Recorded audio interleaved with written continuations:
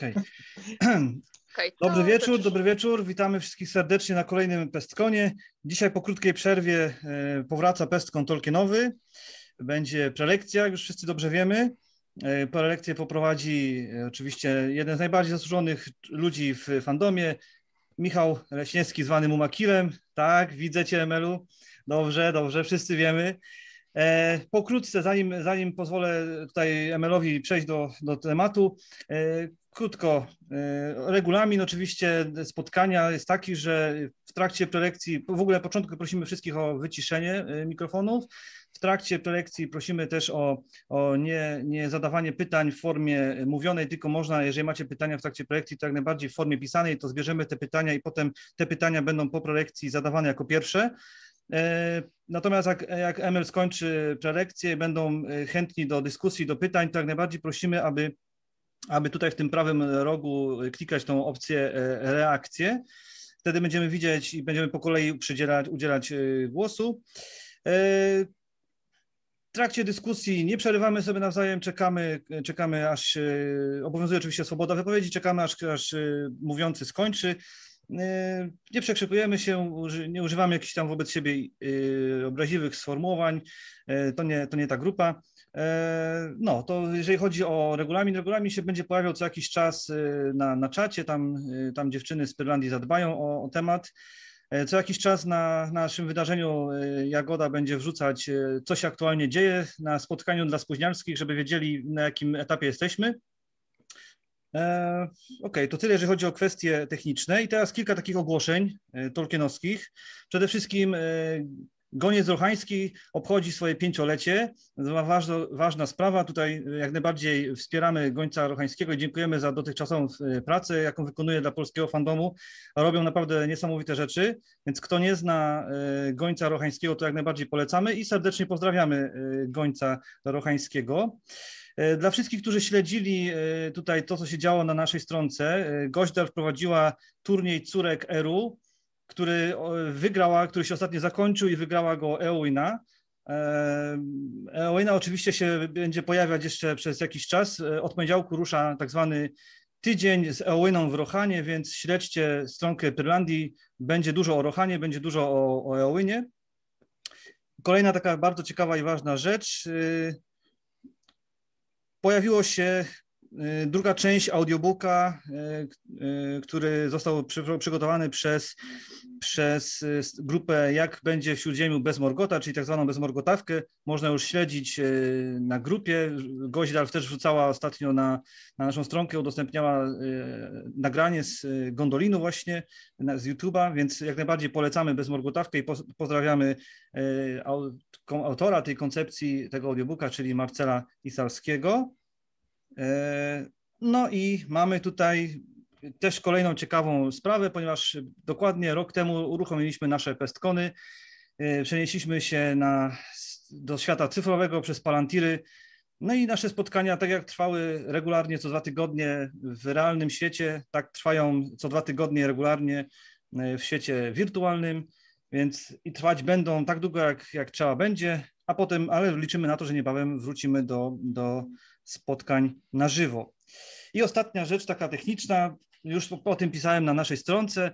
Zbliżamy się do pierwszego tysiąca polubień, więc tutaj, bo jeżeli padnie ta liczba tysiąc, to będzie niespodzianka dla e, wszystkich e, naszych followersów. Nie powiem jaka. Śledźcie stronkę, zobaczycie, co się będzie działo. A teraz oddaję głos naszemu gościu. E, Emelu, proszę cię bardzo.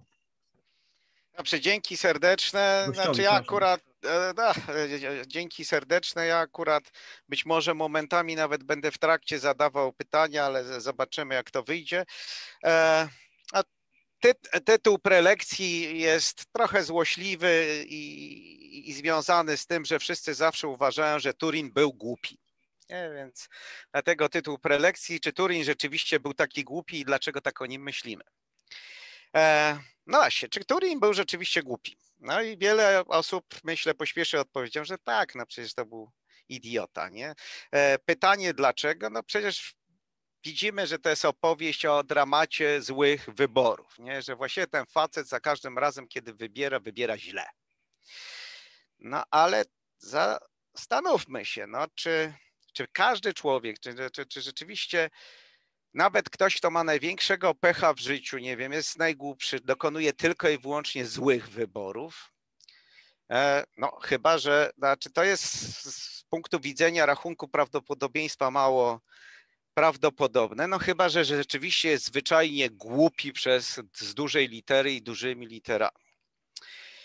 E, Większość zapytanych y, podzielających tę opinię o niezbyt dużej inteligencji Turina powie, że no przecież nie słuchał rad, głupio wierzył, że zmiana imienia coś zmieni, że uciekał przed odpowiedzialnością, nie słuchał przyjaciół, był egocentrykiem, brakowało mu pokory.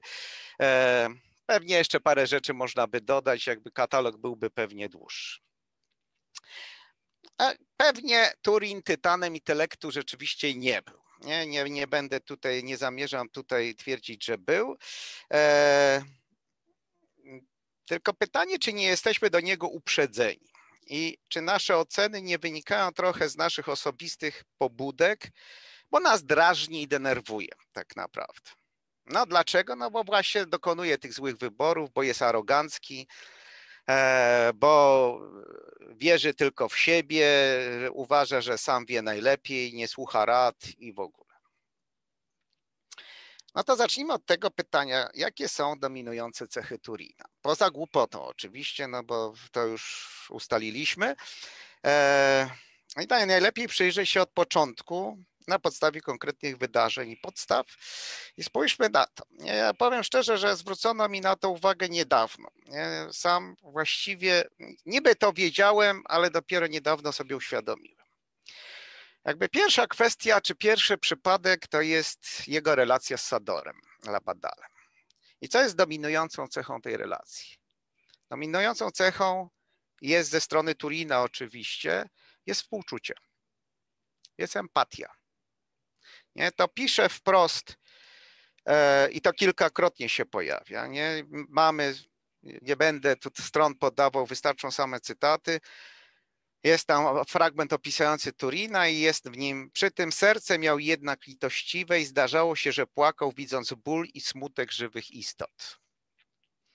Turin nazywał Sadora Labadalem, co znaczy skakun, co jednak nie sprawiało Sadorowi przykrości, gdyż imię to zostało nadane ze współczucia, a nie z pogardy. E, kiedy Morwena zapytała go, dlaczego oddał swój nóż, prezent od ojca Sadorowi, Turin odpowiedział, e, że nie wzgardził darem ojca, lecz miłuje Sadora i darzy go współczuciem. E, I to zwróćmy uwagę, znaczy, przy czym to nie jest tak, że to jest jedyny przypadek. Nie? to jego współczucie, empatia pojawia się właściwie przez całą opowieść. Nie? To jest tak, że następny przykład jest związany z e, wydarzeniami, no ze zabójstwem Forwega, nie? czyli przywódcy bandy, e, bandy banitów. I warto zwrócić uwagę na jakie są okoliczności. Nie? Turin nagle jednak Naprawdę usłyszał krzyki, a z leszczynowego zagajnika wybiegła młoda kobieta w ubraniu podartym przez ciernie. Uciekając w wielkim przerażeniu, potknęła się, upadła na ziemię. Turin dobył miecza, skoczył ku zaroślom i jednym cięciem powalił wyłaniającego się z, za nią w pościgu mężczyzna. Dopiero gdy zadał cios, spostrzegł, że zabił Forwega. Co zadziałało? Zadziałał odruch i empatia. Ktoś jest w potrzebie, trzeba mu pomóc. To jest jego odruch. Nie jest odruchem zastanawianie się, ważenie. Jest to odruch. Odruch, który w pewnym sensie wcześniej o tym mówi Hurin, e, mówiąc o swoim synu, że Turin ma trzy dary do dania. Jest to miłość, współczucie i nóż. I ten nóż jest najmniej wart z tych trojga. Nie? Czyli to jest coś, co się pojawia. Kolejny przykład to jest mim. Zwróćmy uwagę, że właściwie wszyscy inni z drużyny mima traktują jako kogoś nie do odstrzału. To jest ktoś, którego, kogo najwyżej się toleruje, bo jest potrzebny. Ale właściwie jak przestanie być potrzebny, no to no to już nie jest potrzebne, o tak na, nazwijmy to. Nie? I tutaj mamy tu znowu cytat. Gryzie, e, wyjaśnił Androk, pokazując zakrwawioną dłoń. To ork albo coś podobnego, zabijmy go. E, nie zasługuje na lepszy los, zawiódł bowiem nasze nadzieje, dodał inny banita trzymający worek. Tu nic nie ma, tylko korzonki i kamienie. Nie zabijemy go, sprzeciwił się Turin. On ma brodę, to chyba tylko krasnolud. Turin ulitował się nad nim w głębi serca. Czyli mamy znowu przykład jego litości czy współczucia, właśnie litość, jako że litość nam się nie kojarzy niesłusznie e, dobrze, e, no to nazwijmy to współczuciem. E, I mamy później jego, jego tą rozmowę z Mimem po tym, jak się dowiadują, że zginął syn Mima, kiedy Turin mówi, o gdyby było to w mojej mocy, zawróciłbym tamtą strzałę w locie. E, teraz dom okupu będzie naprawdę tak się nazywał, albowiem niezależnie czy tu zamieszkamy, czy też nie, uważam się za twojego dłużnika. Jeśli kiedykolwiek dojdę do jakichś bogactw, odpłacę ci szczerym złotem za twego syna. Wiem, że twego serca tym nie uraduję, lecz ukażę ci mój żal. Prawda? I mamy kolejny przykład. I wreszcie mamy spotkanie z Nienor, ten pierwszy moment spotkania, kiedy właśnie Turin widzi e, na, na grobie e, Finduilas Nienor i mamy Turambar podbiegł wtedy i podniósł ją, woda kapała z mokrych włosów dziewczyny, zamknęła oczy, zadrżała i nie wyrywała się więcej. Zdumiony tym, że leżała naga, Turambar zarzucił na nią własny płaszcz i zaniósł ją do leśnego schronienia myśliwych. Tam rozpalili ognisko i otulili ją kocami. Jakby można by, znaczy nie, nie twierdzę, że można by mnożyć takich przykładów dużo więcej, ale jakby wymieniłem ich trochę po to, żeby pokazać, że coś, na co zwrócono mi uwagę, szczerze mówiąc, tydzień temu, że dominującą cechą w zachowaniu Turina jest współczucie i empatia co nie do końca gra z takim e, widzeniem go jako człowieka, e, jako egocentryka. E, więc trudno uznać Huturina za osobę złą. To nie jest zły człowiek. Jest pełen litości. Oczywiście popełnia błędy, jest głupi momentami. O tym będziemy jeszcze mówić. Mówić ma wady. Tylko pytanie, kto ich nie ma? Nie? To nie jest tak, znaczy my czasami wymagamy od bohaterów, czy z jednej strony mamy do Tolkiena pre, pretensje, że tworzy postaci czarno-białe, ale kiedy postać nie jest czarno-biała, to nagle, no właśnie, głupi jest, nie wiem, no, jest człowiekiem, no, ma prawo być też głupi. Paru elfów też by zasługuje na określenie, że nie było zbyt inteligentnych, nie? więc e, nie jest to tylko cecha gatunkowa w przypadku e, dzieł Tolkiena. Więc trudno uznać jego za osobę złą. Nie? No, I warto w takim razie zwrócić uwagę na to, kto go ukształtował. Nie? Pamiętajmy, żeby było jasne, ja nie jestem wielkim zwolennikiem usprawiedliwiania wszystkiego okolicznościami, wychowaniem, środowiskiem. Powiem szczerze, drażnią mnie. Nie wiem, jak wszyscy zachwycają się filmem pod tytułem Joker, a dla mnie jest to bzdura. Znaczy, człowiek rozumiem, że może być wychowany w, róż, w różnych trudnych sytuacjach, ale w ostatecznym rozrachunku to on decyduje o tym, co ze swoim życiem zrobi. Nie? To jest takie zrzucanie odpowiedzialności za swoje czyny na innych. Nie? Bo ten, i żeby było jasne, ja tak uważam. Ale też z drugiej strony nie ma co udawać, czy, czy, czy, czy nie ma co e, jakby pomijać fakt, że jednak to, jak jesteśmy wychowani, przez kogo, w jaki sposób, wpływa na nasze życie, wpływa na to, jacy jesteśmy. Nie? W końcu mamy niezbyt tolkienowskie, ale bardzo rodzime powiedzenie, czym skorupka za młodu nasiąknie, tym na starość trąci, prawda? Więc e, jakaś ludowa i nie tylko ludowa prawda w tym jest. E, I warto zwrócić uwagę, przez kogo on jest ukształtowany. A zwróćmy uwagę, że jest ukształtowany przez dwie bardzo trudne osoby. Przy czym mniej przez Hurina, swojego ojca, bo tego Hurina w sumie mamy tam opis, częściej nie było niż był. Przy czym jak był, To był hałaśliwy, wybuchowy. Tak naprawdę jest tam opisane, że raczej budził w małym Turinie lęk, obawę niż cokolwiek innego. Nie dlatego, że był brutalny, tylko właśnie, no, nazwijmy, był bardzo emocjonalny. Nie? Zresztą, jak wiele wskazuje, tą cechę empatii właśnie, współczucia Turin odziedziczył po Hurinie. Nie, tam jest to zdanie Hurina właśnie a propos Sadora, kiedy broni go przed własną małżonką i mówi, mimo to należy mu współczuć, nawet uczciwa dłoń i szczere serce czasem wymie źle wymierzy cios, a rana bywa wtedy cięższa niż gdyby zadał ją wróg. Nie? Hurin też ogólnie tak jest, więc można powiedzieć, że to jest coś, co odziedziczył po ojcu. Nie? Przy czym ten ojciec jest tu mniej ważny. Nie dlatego, że w ogóle uważam, że ojcowie są mniej ważni, bo to różnie bywa z tym oczywiście. E, ale tutaj mamy do czynienia, myślę, dużo większy problem i o tym będzie pewnie trochę więcej, problem Morwena. Żeby było jasne, powiem szczerze, uczciwie, nie lubię Morweny. To jeżeli jakiejś postaci w utworach tolkienowskich po prostu i zwyczajnie nie lubię, to to jest Morwena. Nie dlatego, że jest dumna, z innych powodów, e, ale e, nie one są teraz ważne. Natomiast tak czy inaczej, bo niezależnie czy ją lubię, czy nie, Morwena jest oczywiście bardzo silną osobą. Ma bardzo silny, zdecydowany charakter i to są, żeby było jasne, pozytywne cechy. E, z drugiej strony jest jednak pryncypialna do przesady. Znaczy, jakby Morwena może być przykładkiem, e, przy, e, przykładem tego, znaczy przykładem tego, jak mówimy, że nadgorliwość jest gorsza od wojny. No Morwena jest w jakimś sensie może nie nadgorliwa, ale nadpryncypialna. Nie mamy, z jednej strony, żeby było jasne, uważam, że w jakimś sensie jest jakaś mądrość w tej jej decyzji, że teraz Turinie musisz poczekać na następny nóż. Tym sposobem twój dar pozostanie prawdziwym darem, gdyż sam, sam zań zapłacisz. I to w tym, żeby było jasne, tym jest jakaś mądrość, nie?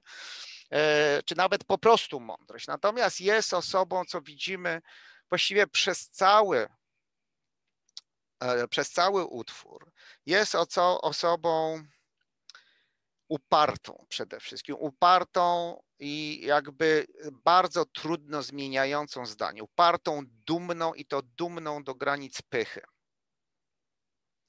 Nieznoszącą litości, źle przyjmującą współczucie, źle przyjmującą e, pomoc, e, jakby bardzo źle sobie z tym radzi. Mogę zrozumieć, dlaczego tak jest, biorąc pod uwagę, co wiemy o jej wcześniejszym życiu, choć nie wiemy bardzo dużo, ale coś tam wiemy. Natomiast y, to nie zmienia faktu, że to też wpływa na niego. Znaczy, gdzieś tam w tym względzie, kiedy Turin pokazuje swój upór, no to ewidentnie jest dzieckiem Morweny. E, czy to coś usprawiedliwia? Nie, nic nie usprawiedliwia. Natomiast jakby warto o tym pamiętać, że no, Turin jest przedstawiony przez Tolkiena jak właśnie jako osoba, która jest ukształtowana przez dwa bardzo specyficzne, trudne, choć z drugiej strony fascynujące charaktery. Ważne są też czasy, które ukształtowały Turina. Wprawdzie urodził się w czasach pokoju, w królewskiej rodzinie, w dostatku, szczęściu, otoczony służbą, Chociaż zaznał też, pamiętajmy, nieszczęścia, czyli śmierci Urweny. Znaczy wychowuje się w cieniu tej śmierci. Ta śmierć jest czymś, co jakby jest obecne. Tylko, że to wszystko się kończy, kiedy ma 8 lat. Kiedy ma 8 lat, dochodzi do Nirnaet, wszyscy wiemy, co się wydarzyło i potem żyje przez rok prawie. Nie wiemy dokładnie, no bo ten opis nie jest, nie mamy tam kalendarium rozpisanego co do dnia, no ale jest to w okolicy roku, no bo wiemy, że kiedy e, dociera do Doriat, to ma 9 lat, czyli możemy przyjąć, że jest to około roku. Żyje w strachu. Tak naprawdę żyje cały czas w strachu. Po pierwsze, w, cie, w cieniu groźby, znaczy w cieniu nawet nie groźby, w cieniu straty. Nie wie, co się stało z ojcem. Wie, nawet nie wiemy do końca, czy oni wiedzą, że został wzięty do niewoli wiemy, że tak naprawdę wiele nie wiedzą. Szczerze mówiąc, jak wiemy, to jest znacznie gorsze psychologicznie niż wiedza o tym, że ktoś zginął. Która jest ciężka, trudna, z którą trzeba się zmierzyć, ale przynajmniej wiemy, wiemy, co się wydarzyło. Tutaj tak naprawdę oni nie do końca wiedzą, wiedzą, że bitwa została przegrana, wiedzą, że poniesiono straszliwą klęskę, wiedzą, że większość wojowników zginęła, ale co się stało z Hurinem, oni do końca nie wiedzą. Do tego dochodzi ten stały, obecny lęk, kiedy Sador mu, myślę, że zwłaszcza od momentu, kiedy Sador mu to uświadamia, lęk przed staniem się niewolnikiem. Losem, który jest gorszy niż śmierć.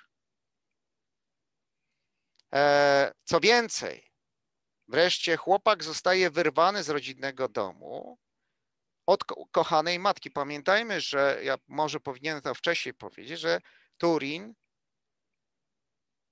do ojca miał raczej nabożny lęk, tak byśmy powiedzieli, niż miłość. Natomiast matkę kochał, niezależnie jaka była, nie? jak ją oceniamy, czy ją lubimy, nie ma to teraz znaczenia. On ją kochał i o tą matkę musiał porzucić. I teraz pomyślmy, oczywiście też trzeba mieć świadomość, Tolkien jest wychowany przez inne społeczeństwo niż nasze, co więcej w innym czasie. Nie? To jeżeli poczytamy sobie utwory, czy powieści, czy utwory dla dzieci, czy młodzieży z XIX wieku angielskie, tam bardzo często pojawia się wątek sieroctwa, nie wiem, wczesnego sieroctwa i tak dalej. Tolkien z tym był sam, jak wiemy, zaznał podobnego losu. E, społeczeństwo angielskie trochę inaczej podchodziło do takich rzeczy, czy dzisiaj podchodzi, no to, to już inna sprawa, ale podchodziło, nie?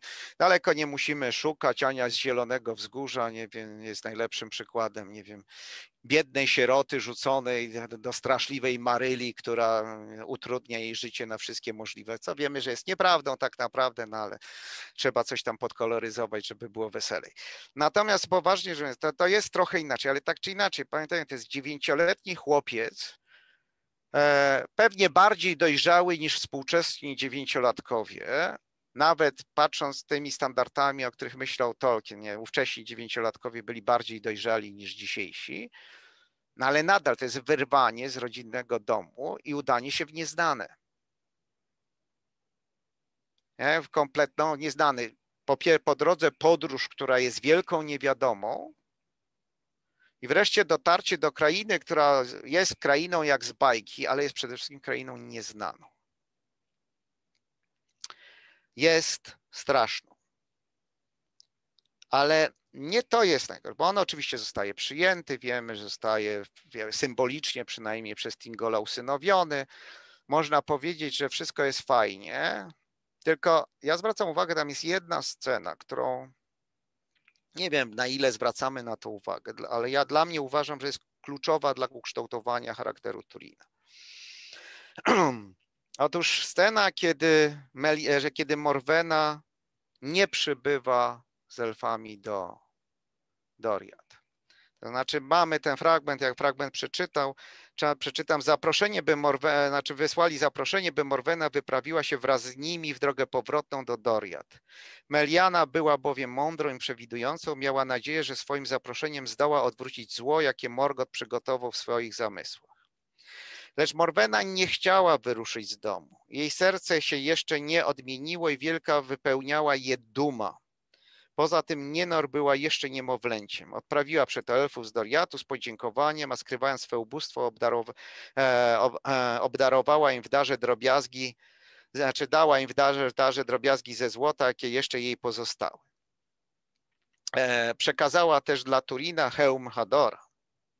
Turin nieustannie wyglądał powrotu posłańców Tingola. Gdy jednak powrócili, nie przeprowadziwszy matki, uciekł do lasu i rozpłakał się. Znaczy, to dla niego było gorsze niż samo opuszczenie domu.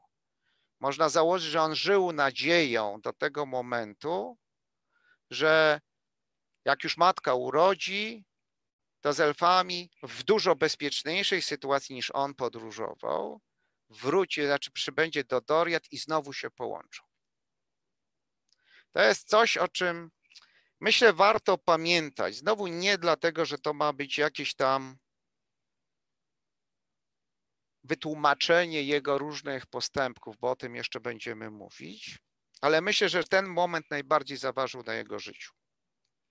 Rozczarowanie i smutek, może nawet, tak się zastanawiam, swoiste poczucie porzucenia, że został w tym momencie porzucony przez matkę. I pewnie dlatego, jak później jest napisane, przyjaźnie zawierał z trudnością, nie był bowiem wesoły i rzadko się śmiał. No bo jakby doświadczył, myślę, że właśnie bardziej niż Nirdaet, bardziej niż konieczność opuszczenia domu, bardziej niż niebezpieczna podróż, którą jak wiemy z trudem przeżyli, gdyby nie Belek, to pewnie by nie przeżyli. No właśnie ten moment, kiedy liczył na powrót. Zresztą zadajmy sobie sami pytanie, no właśnie, gdyby Morwena wtedy przybyła do Doriad, czy wszystko, czy, czy cała historia nie potoczyłaby się zupełnie inaczej? Nie, że ona tutaj, to jest jakby moim zdaniem, to jest kluczowy moment, znaczy jeden z kluczowych momentów tej opowieści.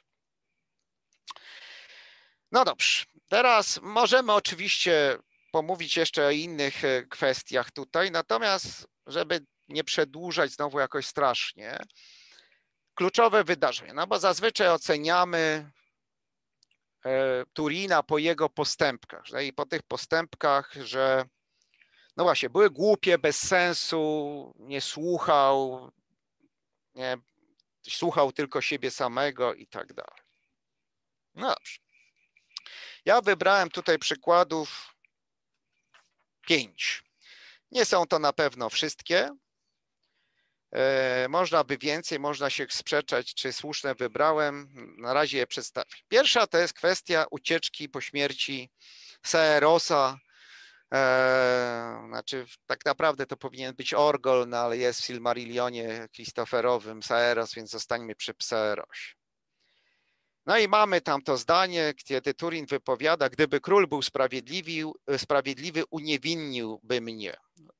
Lecz czyż Saeros nie, by, nie był jednym z jego doradców? Czemu sprawiedliwy król miałby obdarzyć przyjaźnią elfa o złośliwym sercu?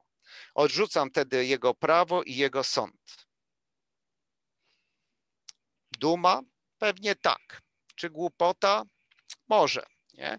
Natomiast zwróćmy uwagę, dlaczego uciekł, dlaczego nie poddał się królewskiemu osądowi.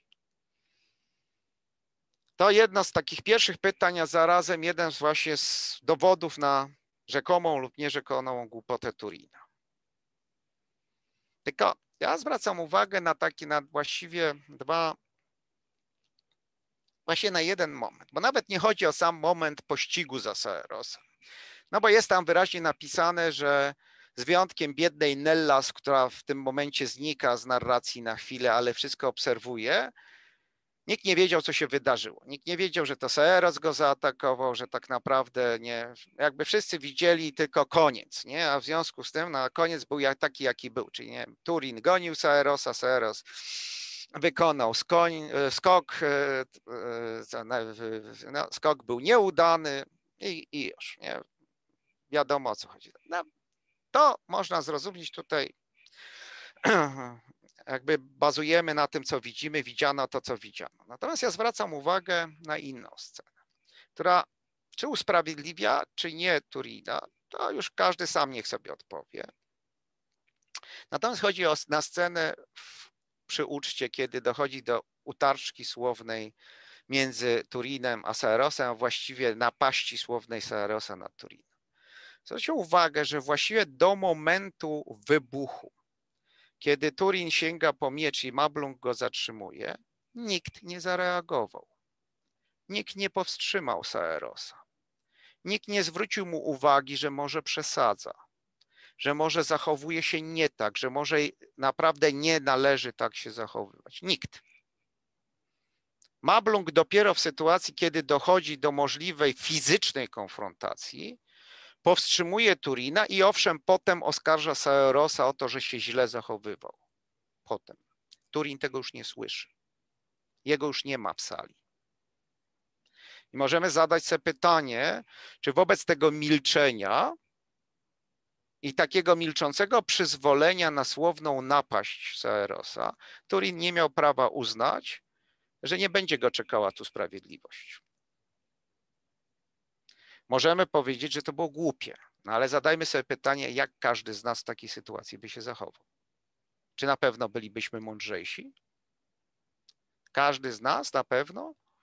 To warto sobie zadać takie pytanie. Drugi moment to jest, kiedy Belek spotyka po raz pierwszy Turina już jako przywódcę bandy banitów e, i namawia go, żeby ten powrócił do Doriat. No i wszyscy mówią, no tak, powinien wrócić, przecież zostało mu wybaczone i tak dalej, no co on wyprawia i tak dalej. Tak, nie? tylko warto zwrócić uwagę na to, co mówi Turin. Łaska Tingola, jak sądzę, nie obejmie towarzyszy mojego upadku, a ja ich nie opuszczę teraz, jeśli oni nie zechcą się ze mną rozstać. Kocham ich po swojemu, nawet tych najgorszych trochę pochodzą z mojego ludu i w każdym z nich jest odrobina dobra, które może się rozwinąć. Chcę być wodzem własny, swych własnych ludzi i walczyć tak, jak chcę. Od... Ale w tym przynajmniej zmieniło się moje serce, że żałuję każdego ciosu, jaki zadałem, za wyjątkiem tych skierowanych przeciw nieprzyjacielowi elfów i ludzi. Znaczy, to nie jest odpowiedź kierowana znaczy, żeby było jasne, pewnie w tym jest także duma. Nawet na pewno. Ale jakby motywacja nie, motywacją podstawową nie jest duma, jest lojalność wobec swoich towarzyszy, swoich podwładnych.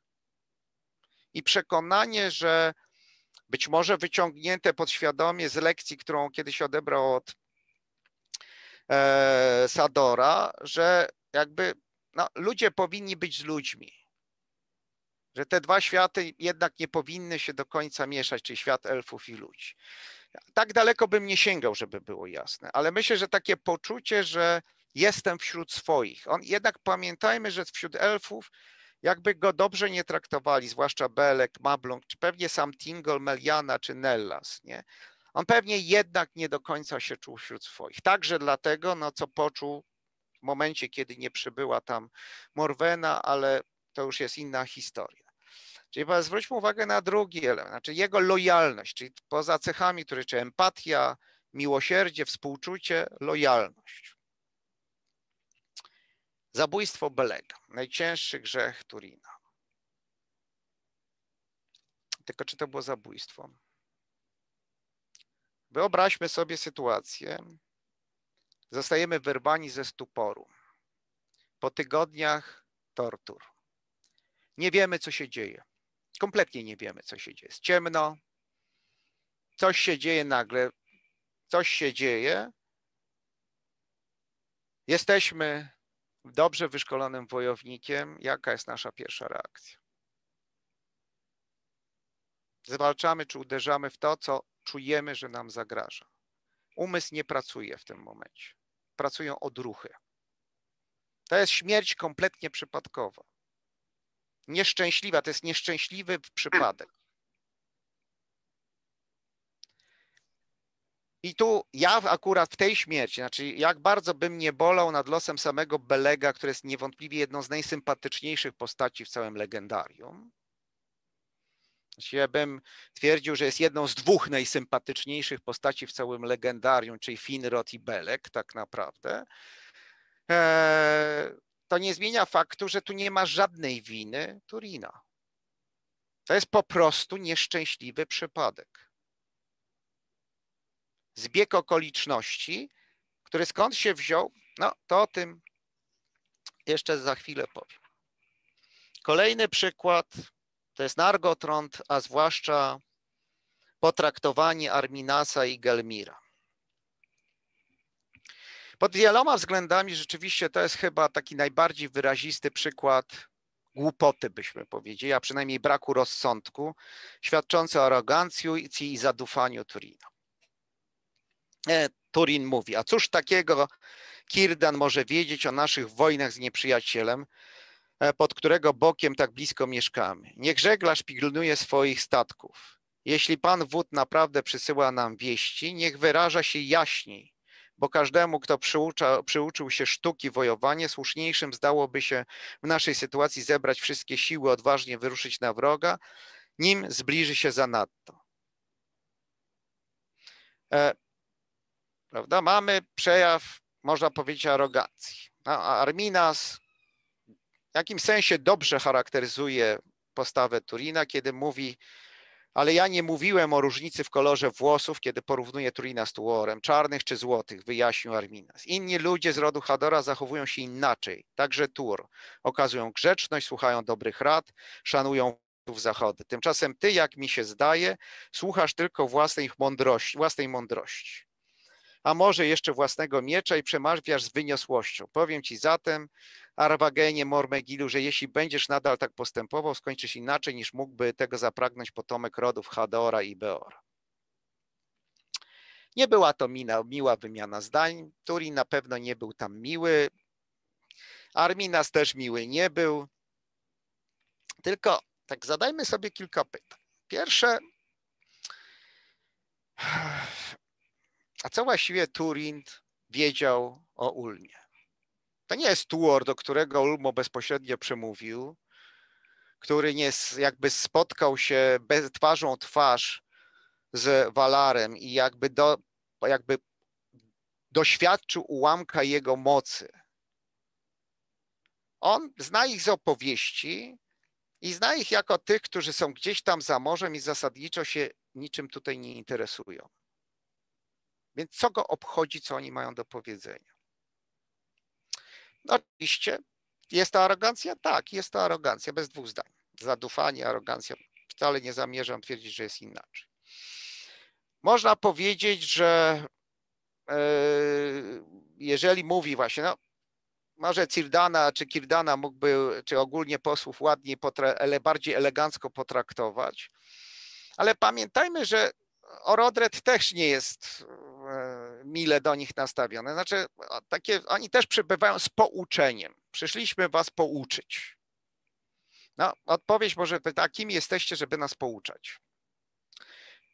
Jest to aroganckie? Oczywiście, że jest. Ja zwrócę uwagę na jeszcze inny element.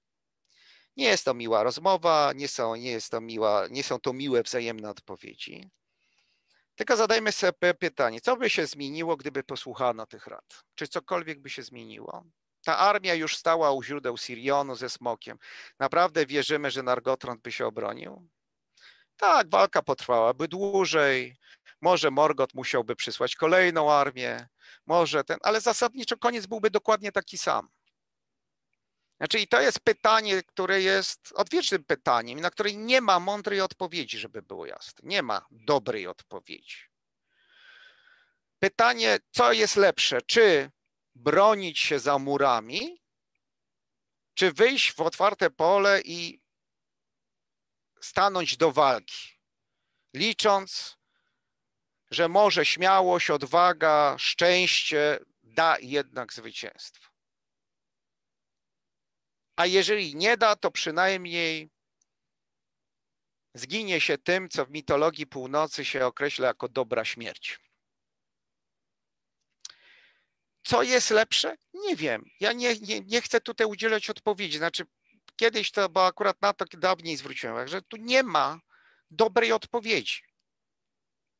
Znaczy, najlepiej by było oczywiście, jakby zawczasu zapakowali wszystko, co mieli i porzucili Nargotrond i udali się do ujścia Sirionu. Tylko to akurat jakby niespecjalnie nikt tam brał pod uwagę. Czy ktokolwiek brał tam pod uwagę. Czy paradoks polega na tym, że ta rada, znaczy, że przyznając, że Turin jest tu arogancki, należy pamiętać, że ta arogancja jest może nie to, że uzasadniona, znaczy ona tu nie ma znaczenia. Bo jaki by nie był wybór, nawet gdyby ten most zburzyli, no, no to pewnie musiałby Glaurung się trochę bardziej wysilić.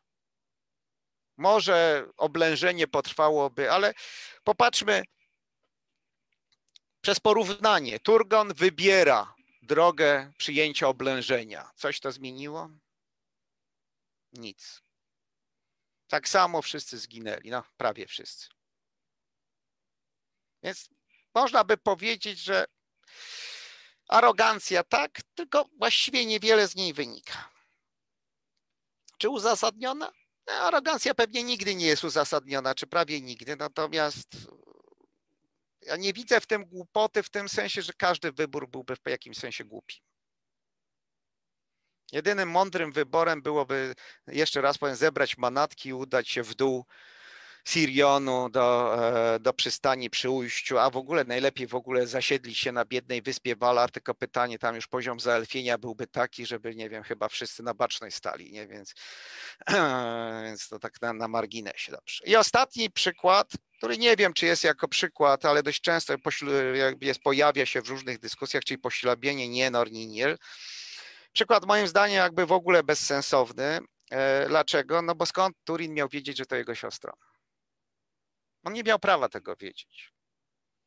On gdzie coś tam przeczuwał, coś mu przypominało, ale kurde, nie miał prawa wiedzieć, że to siostra.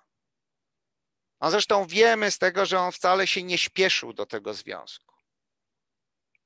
Że to nie jest tak, że od razu, zaraz, natychmiast. Nie, on tak nie było.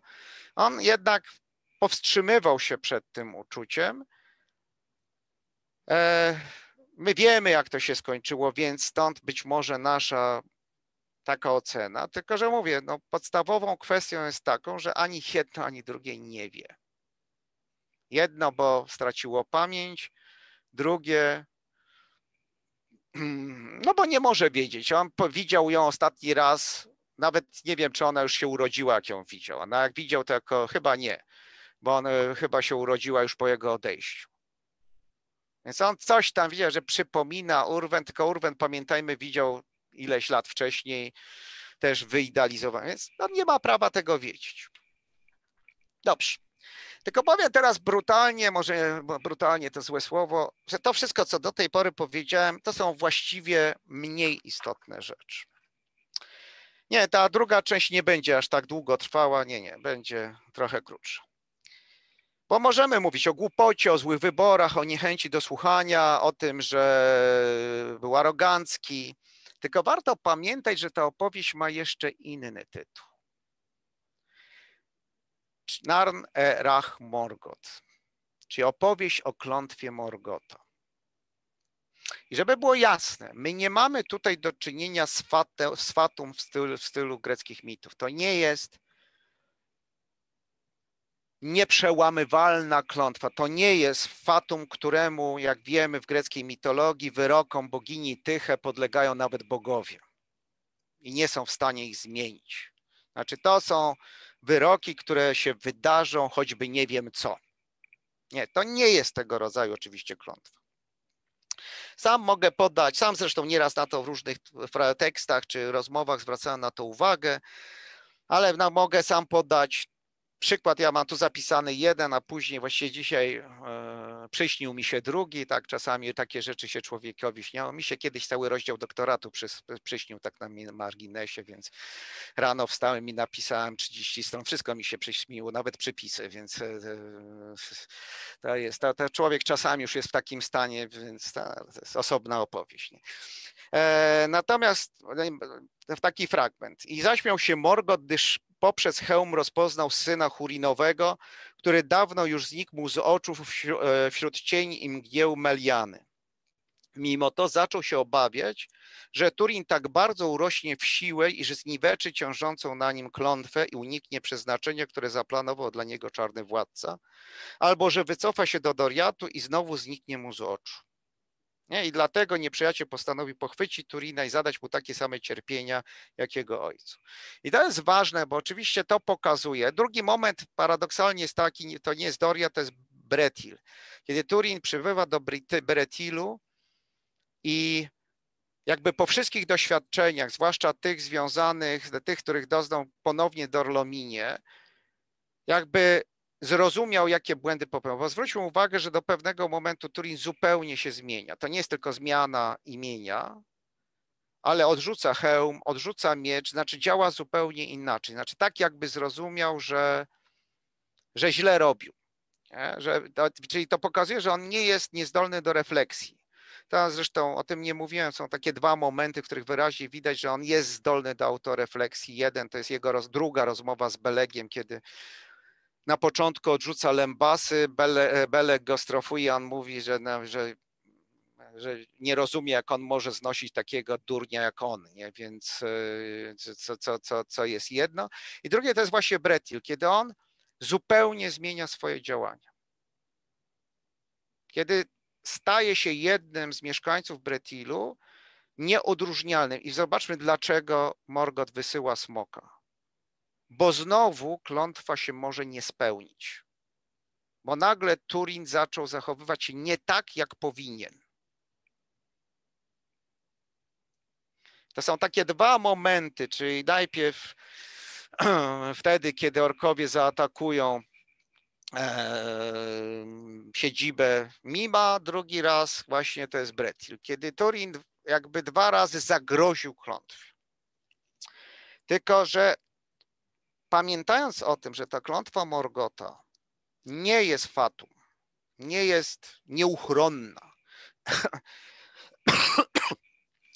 e, trzeba jednak pamiętać, że to inaczej, nie znaczy to jednak, że ta klątwa nie ma żadnego znaczenia że nie wpływa na losy Turina. Po pierwsze, wpływa poprzez działania sług Morgota czy innych istot poddanych pod jego wpływ. Czy to będzie Glaurung, czy to w jakim, znaczy zatrzymajmy się na razie na Glaurungu. Ale to nie jest najważniejsze. Ważniejsze jest coś innego. Czasami, czy zbyt często zapominamy, sam zapominam zresztą, że nie darmo nazywa się pierścieniem Morgota. Że u zarania Morgot czy Melkor był najpotężniejszym z Walarów. I jak tutaj sobie przeczytam, bo e, se e, zaznaczyłem, i, i, i, jak jest napisane, że nawet w, nawet w jego umniejszeniu moc Melkora jest poza naszymi zdolnościami pojmowania. Prawda? Więc to jest kolejny cytat. Nie? Melkor, jak wiemy, odrzucił wszystkie prawa, ale to, co jest ważniejsze, że skaził jakby samą materię Ardy. Jakby zranił swoimi czynami samą materię Ardy, e, a jako, że istoty wcielone, tak elfowie, jak i ludzie, powstały i czerpią z substancji Ardy skażonej, każdy z nich jest też skażony przez Morgota. W jakiejś mierze to skażenie wpływa także na każdą z tych istot. To się wielokrotnie przewija w różnych tekstach. Tego skażenia, zresztą jest powiedziane wprost, tego skażenia nie można do końca naprawić, znaczy w ramach tego świata. Nawet Melkor, gdyby okazał skruchę, albowiem moc, którą włożył w tamte czyny, nie mogła zostać w pełni cofnięta, lecz nadal by działała zgodnie z zamysłem, jakim jej użyto. I dalej jest też powiedziane w innym miejscu, nic jednak nie zdoła całkowicie uniknąć cienia, który spowija Ardę i nic w pełni nie uniknęło skażenia, tak by móc e, podążać bez przeszkód właściwą drogą.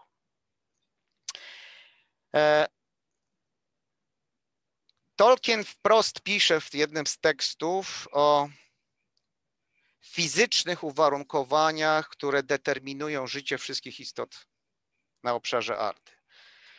Świat to przestrzeń, w, której, w którym obejmują konkretne prawa fizyki, a te wpływają na los każdej istoty i nie mogą być przez nikogo zmienione. Tym samym wpływają na wolną wolę, którą właśnie można zdefiniować jako swobodę wyboru własnego losu w ramach fizycznych praw danego świata. Tu można dalej, że gdzie skąd te, te prawa fizyczne czerpią sobie swoje źródło, ale trzeba zawsze pamiętać, że to stworzenie, czy te ramy fizyczne, w których funkcjonuje każda istota, zostały na samym początku, w momencie aktu stworzenia, bo pamiętajmy, stworzenie dokonuje się rękami walarów, jakby EA to jest idea, a materia to jest stworzenie zrobione przez walarów, e, jakby zostało u samego początku skażone przez Morgota. Czyli trzeba sobie powiedzieć i pamiętać jednym. Turin, grając w kości ze swoim losem, gra znaczonymi kośćmi. Te kości są znaczone przez Morgota. E, ta klątwa Morgota, a klątwa Morgota sprawia, że wyniki rzutu kością zostają zafałszowane. To nie jest tak, jak w idealnych warunkach, kiedy rachunek prawdopodobieństwa mówi, że każdy wynik rzutu kością, nim zaistnieje, jest tak samo prawdopodobny. Nie. Tu mamy inną sytuację. Już przez sam fakt skażenia Ardy wynik, wyniki niekorzystne są nieco bardziej prawdopodobne a ukierunkowana klątwa Morgota jeszcze bardziej fałszuje wynik. Morgot nie kontroluje tych kości, ale ma wpływ na wynik rzutu. Turin poniekąd, jak popatrzymy, nawet w tym momencie, kiedy dyskutuje z Arminasem i Gelmirą, poniekąd postrzega świat tak, jak chce tego Morgot. To nie jest taka sytuacja jak Hurina, który ogólnie patrzy oczami Morgota i widzi ten obraz kompletnie wykrzywiony. Ale nadal jest to obraz w jakiejś mierze spaczony przez Morgota.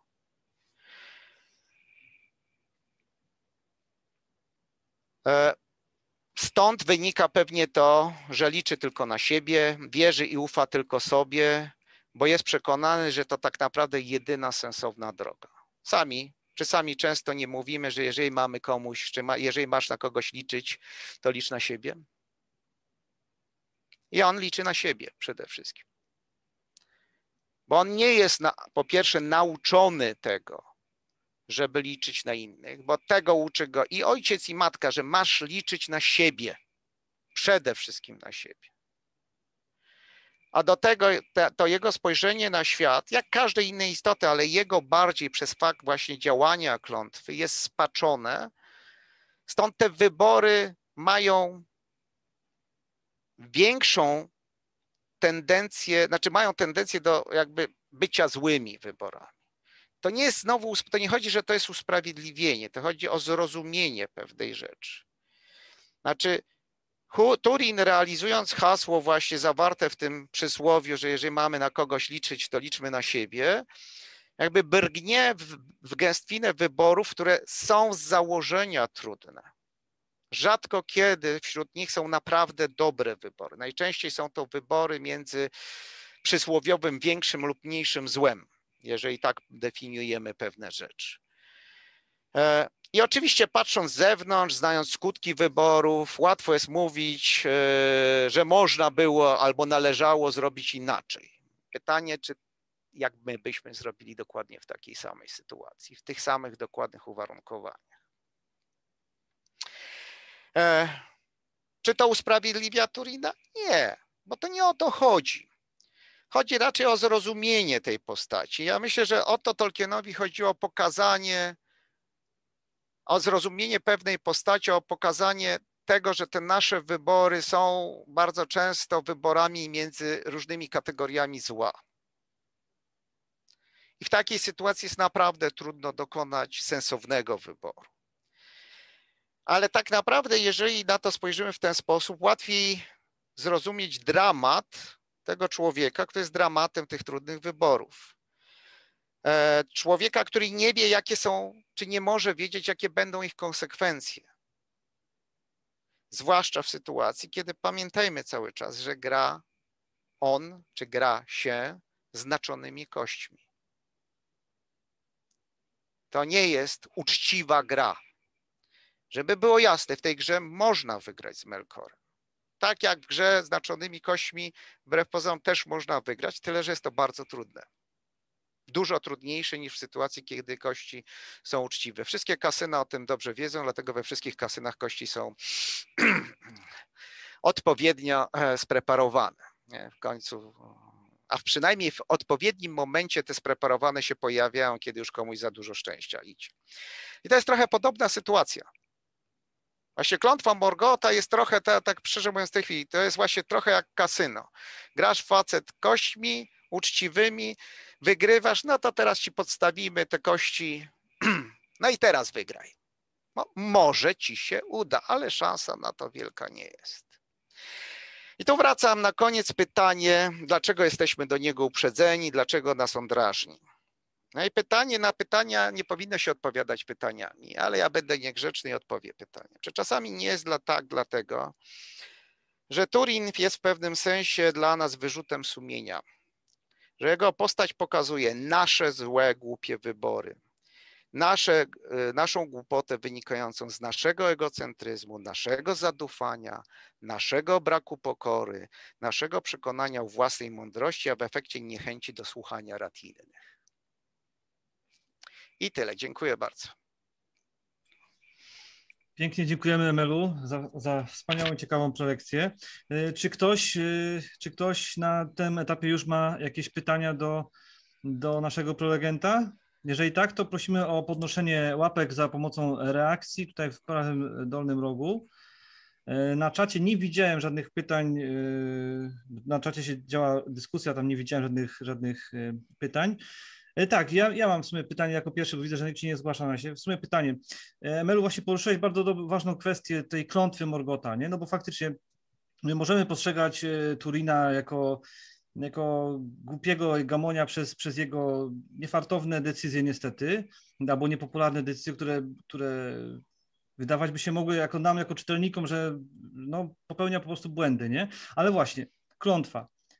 Czy to nie jest tak, że czegokolwiek Turin by nie zrobił, albo jakiejkolwiek decyzji by nie podjął, czy właśnie fakt, że tak jak tutaj powiedziałeś, że no, Morgot grał właśnie tymi znaczonymi kośćmi, tak? Czy właśnie, czy ten, czy sam ten fakt nie sprawia, że cokolwiek Turin by nie zrobił albo by nie podjął jakiejkolwiek decyzji, to i tak jego los skończyłby się tak, skończyłby się tak jak się skończył.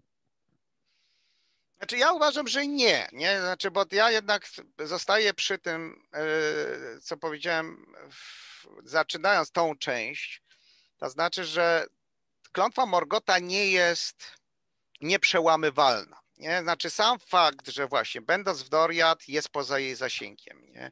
Kiedy tworzy tą swoją krainę Dor, znaczy krainę łuku i hełmu, prawda, no to Morgot się zawahał, czy czasem facet nie, nie wymknie się, nie? można powiedzieć, tej klątwie. Czy wreszcie jak jest w Brett Hillu, przynajmniej do pewnego momentu, to też w jakimś sensie umyka. Nie? Więc to nie jest mm, jakby, można by nawet powiedzieć no, na innym przykładzie, nawet wyrok Walarów, nie wiem, Mandosa nie jest ostateczny, no dlaczego? No bo jak mu Luciak się rozdarła e, w piekle, to zaraz oddał jej chłopa i kazał, nie, e, ten jasno pokazać, znaczy, a jeszcze jak przyjmiemy starszą wersję, ona się jednym bardziej podoba, drugą i drugim mniej, że no bo w jednym jest tak, że do, do, duch Lutien powędrował do e, Mandosa, ale jest inna wersja, że Lutien po prostu przebyła Helkaraksę w drodze powrotnej e, przez lud przeszła, podeszła pod zamek Mandosa i jak mu się rozdarła, to facet od razu nie powiedział, dobra, zabieraj chłopa i wypier, e, bo przecież ile można, nie? Więc niektórym ta wersja się bardziej podoba, nie? Nawet domyślam się dlaczego. Nie, natomiast to już jakby można sobie pożartować. Znaczy, żaden wyrok nie jest ostateczny. Więc z jednej strony nie. Moim zdaniem Turin oczywiście ma możliwość ucieczki nie, w różnych momentach, czy możliwość odwrócenia. W ogóle uważam, że gdyby decyzja Morweny była inna w, te, w tym jednym konkretnym momencie, e, to też inaczej to wszystko by się potoczyło. Więc czasami to nie są nawet jego decyzje, które decydują, tylko to, tylko to jest jakby jedna strona medalu. Czyli on może, moim zdaniem, może umknąć od tego, Tyle, że ze względu na to, że właśnie gramy w kości znaczonymi kośćmi czy fałszowanymi kośćmi, to jest to niezwykle trudne. Możliwe, ale bardzo trudne. Mhm. Okej. Okay. Widzę, że Mirabela ma pytanie. Proszę cię bardzo. Mhm. Znaczy, jestem lekko przemęczona, więc może tylko sprowokuję lekko dyskusję, czy aby na pewno jednak po prostu nie tłumaczysz głupoty Turina. Okej, okay, dokonywał głupich wyborów, ponieważ tak został ukształtowany przez rodziców, później przez Fingola, e, oczywiście miał na to wpływ Morgoth, jego klątwa i tak dalej, i tak.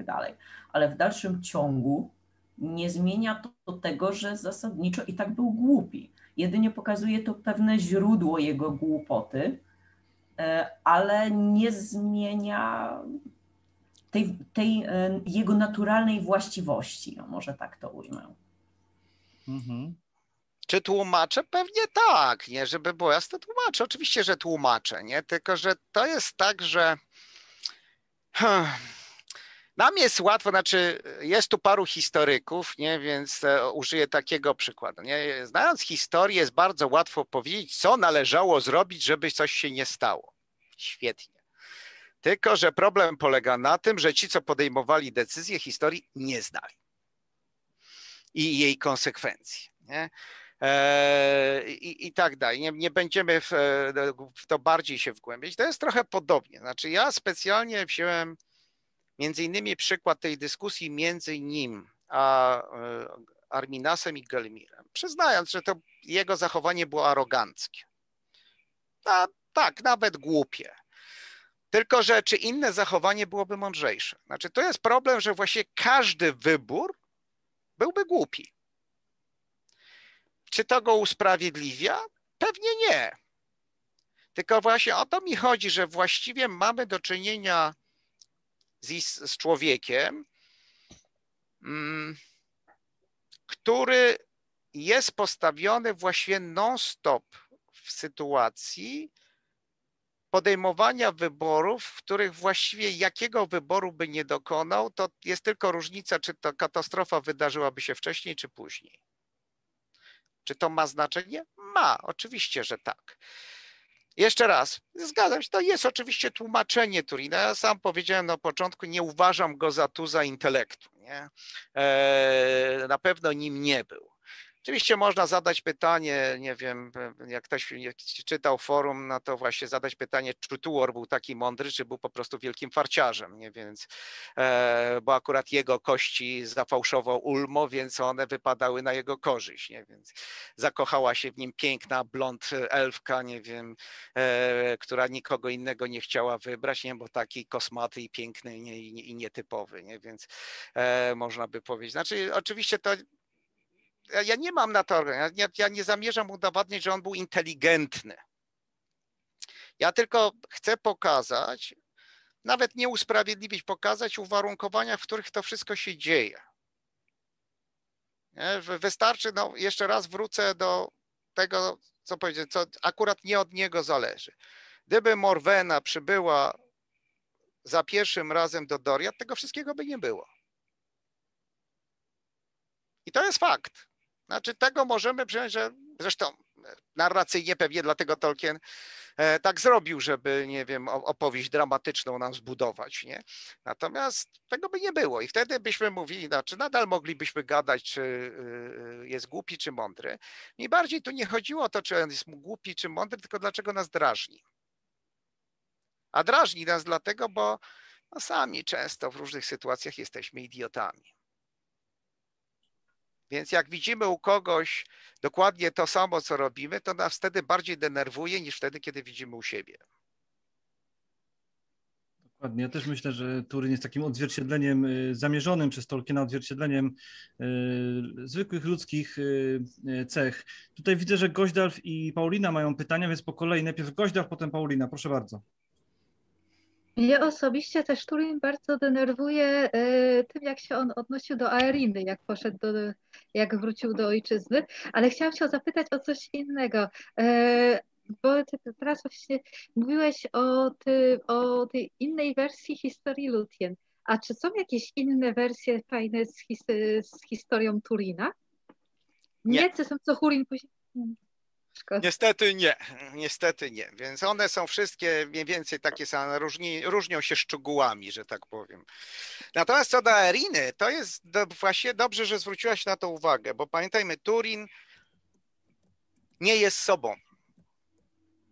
Turin nie jest sam. Pamiętajmy, że on akurat to jest ten moment, kiedy cały czas pozostaje pod wpływem czaru Glaurunga.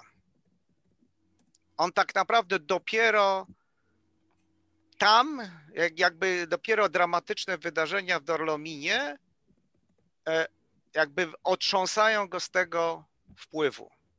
On całą tą podróż do Dorlominu odbywa jak w Malignie, nie do końca wiedząc, kim jest, co robi. Znaczy, to nie jest taki stan jak Manienor, która w ogóle nie wie, kim jest, ale to jest coś podobnego. Więc o, to nie jest do końca on w tym momencie. To jest trochę tak, jak, jak, e, jak jesteśmy na haju. Nie wiem, e, więc oczywiście różnica jest taka, że w przypadku czy to no, uchlania alkoholowego, czy haju narkotykowego, to my podjęliśmy decyzję, żeby się napić, czy my podjęliśmy decyzję, czy by wąchnąć lub sobie coś wziąć. A tutaj jakby jemu to zadano wbrew jemu, jego woli. Więc trudno go nawet za to winić. Znaczy tutaj on oczywiście nie zachowuje się dobrze wobec Aeriny, ale on też nie jest do końca sobą. Ale nawet potem, że on się nie obudził wtedy w trakcie, wiadomo, że on tam rozwalił i dom, zabił męża, zabił tych Easterlingów, ale że potem jak on sobie uświadomił właściwie co zrobił, on też ją jakoś zwyzywał, że ona jest tchórzem, że ona zawsze coś tam, coś tam, coś tam. No da, ja, ja nie twierdzę, że to, przecież ja, twierdzę, ja nie twierdzę, że to jest ideał. Nie, to jest człowiek pełen wad. Jak każdy człowiek. Dokładnie. Paulina, proszę bardzo, potem widzę, że Mirabela się zgłasza. A ja mam py- pytałam już o to na czacie, ale chyba właśnie e, tutaj nie przełączono, e, bo wszystkie te argumenty są sensowne, ale wszystkie te usprawiedli- próby usprawiedliwienia Turina, mimo wszystko to są takie rzeczy małego kalibru. Jeżeli przyznajemy rację, że okej, okay, zachował się arogancko, to wszystko są rzeczy, które nie mają wielkich konsekwencji. Jednak e, popatrzmy chociażby na zabójstwo Brandira. Czy jesteśmy w stanie jakkolwiek to w ogóle uzasadnić? Bo mi się wydaje, że to jest jeden z tych momentów, kiedy jemu totalnie szajba odbija i on traci nad sobą totalnie kontrolę i nie można zwolić to ani na klątwę, bo to jest jednak jego no wybór, działa pod wpływem impulsu i nie możemy tego porównać do zabójstwa Belega, bo wtedy rzeczywiście był w amoku, ale w momencie, kiedy zabija Brandira, po prostu działają kierują nim impulsy, jego emocje, więc tutaj to, totalnie jego wina. E, I też tutaj Idy przed chwilą na czacie zauważyła, że gdyby posłuchał Belega i wrócił wtedy do Doriatu, do nie uniósłby się e, to swoją dumą, że on ma, on ma lepszy plan na życie, tak on nie pójdzie, on tam nie wróci. Być może rzeczywiście tego wszystkiego by nie było, więc rzeczywiście jesteśmy w stanie tak go usprawiedliwić. Myślę, że jednak jest kilka takich rzeczy, które naprawdę przemawiają za tym, że no, no przybijają, że klątwa klątwą, um, ale on też ma swoje za uszami. Dobrze, nie? Znaczy, tak, zacznę od e, tego Belega. Ja zwróciłem na to uwagę, że to nie jest tylko duma, to jest też lojalność wobec ludzi. Znaczy, on mówi, a co z moimi towarzyszami? Mam ich porzucić? A to trudno uznać, że to jest, znaczy nie wiem, możemy uznać to za głupotę, okej, okay E, to już jest do, do dyskusji. Natomiast na to trudno po, powiedzieć, że to jest, że kieruje nim tylko czy przede wszystkim duma. Oczywiście możemy założyć, że to jest tylko takie sobie usprawiedliwienie, ale zwróć uwagę, że jedno, akurat to mi o tym nie, że jedną z cech Turina jest jednak to on nie kłamie. On zasadniczo w żadnym momencie nie skłamał. Więc trudno powiedzieć, że on tutaj coś tworzy, buduje. On Wręcz kiedy odpowiada za drugim, przy drugiej rozmowie, kiedy Belek przywozi lębasy i on najpierw nie chce ich przy, przyjąć, on odpowiada przecież brutalnie i szczerze, głupio, żeby było jasne, tak, głupio, brutalnie i to jest na przykład rzeczywiście przejaw głupoty, no bo Belek mu zwró- słusznie zwraca uwagę, że no jeżeli nie chcesz niczego z Doriatu, to także oddaj to, czego się tam nauczyłeś. Nie? Więc e, oczywiście, że w tym sensie to jest głupia odpowiedź Turina, ale z drugiej strony, kiedy zostaje, nie wiem, zestrofowany, nazwijmy, to to jednak wtedy rozumie swój błąd, nie? Czy z tego coś wynika? Okej, okay. żeby jasne, ja, ja nie chcę, jeszcze raz mówię, ja nie chcę i nie zamierzam zrobić z niego ideału, bo on nie jest ideałem i nie ma być ideałem. On nie jest ideałem. Natomiast co do sprawy zabicia Brandira, ja niestety nie do końca się zgadzam. Po pierwsze, ja myślę, że zawsze w takiej sytuacji, dobra, już nawet bez tego, bo chciałem najpierw powiedzieć, że jakbyśmy my się zachowali, ale pomyślcie sobie tak, oto najpierw jakby doświadczył największego triumfu. Zabił smoka. Pamiętajmy, że przed nim nikt tego nie zrobił. Zabił smoka. I nagle dowiaduje się strasznych rzeczy. Dowiaduje się, pamiętajmy, no czegoś, co z perspektywy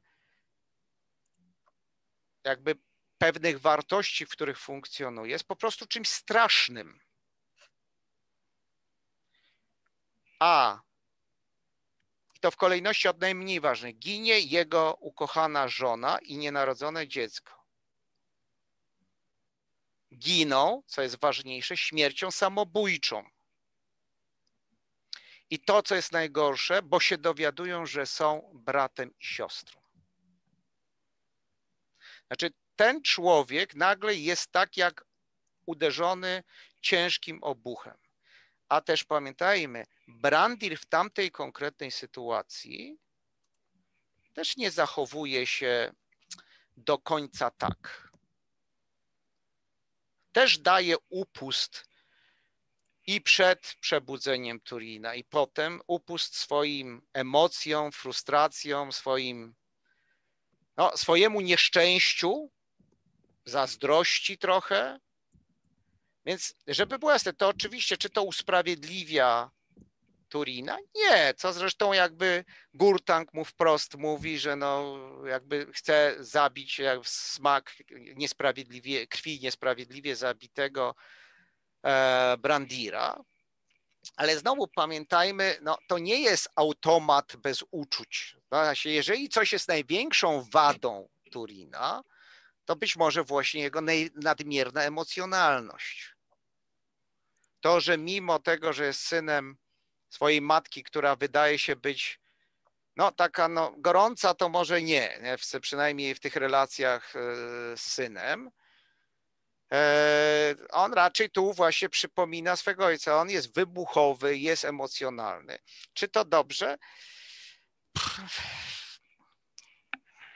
Nie wiem, znaczy w pewnych sytuacjach tak, w innych nie, to nie ma. Czy to jeszcze raz, to nie jest usprawiedliwienie, tylko też zastanówmy się, to jest konkretne, to nie jest tak, że Turin przychodzi, wszystko jest cool, fajnie, idę, widzę cię brandirę, to cię, brandirze, to cię zaszlachtuje bo mam akurat taką ochotę. Nie, nie.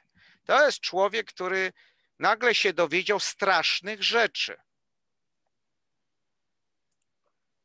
Z drugiej strony obronił Hill przed straszliwym zagrożeniem.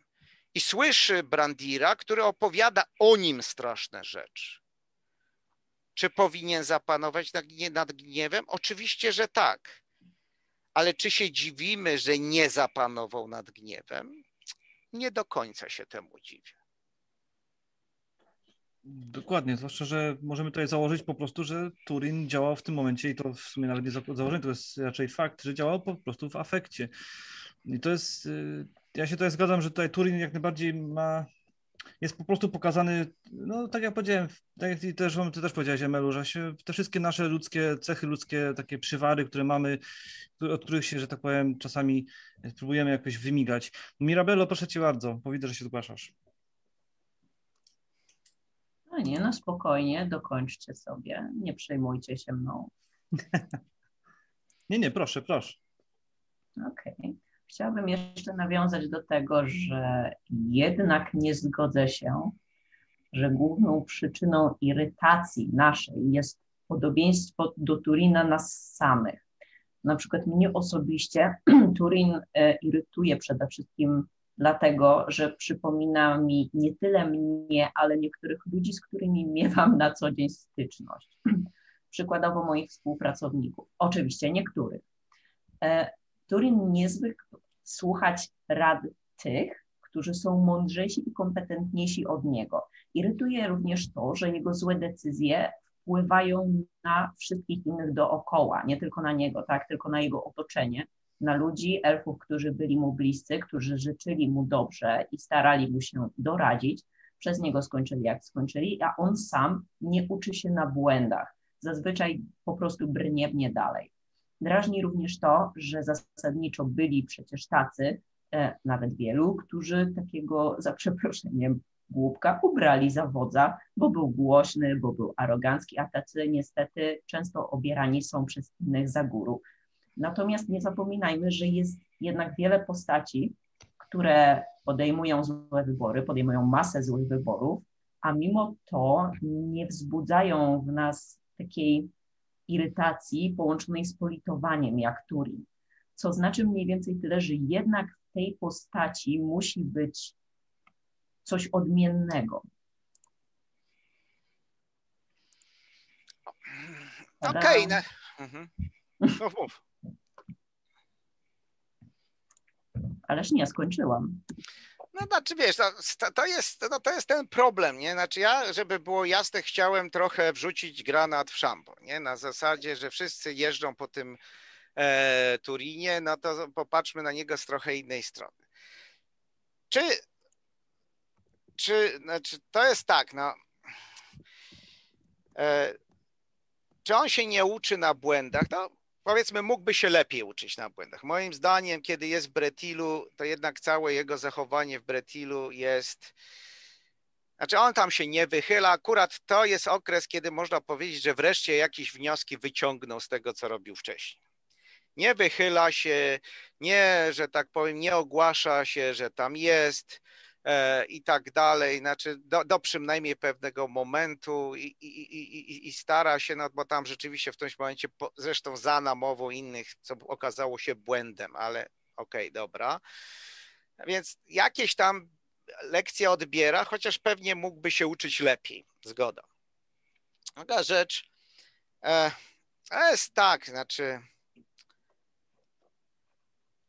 z zewnątrz obserwując, łatwo jest przyjąć taką perspektywę, bo przecież ten jest mądrzejszy. Ja specjalnie wrócę do tego, tego jego pierwszej rozmowy z Belegiem i e, na temat powrotu. Bo to jest tak, Beleg jest mądrzejszy. Powinien się go posłuchać. No tak, ale czy powinien być nielojalny wobec swoich towarzyszy? Czy powinien ich porzucić?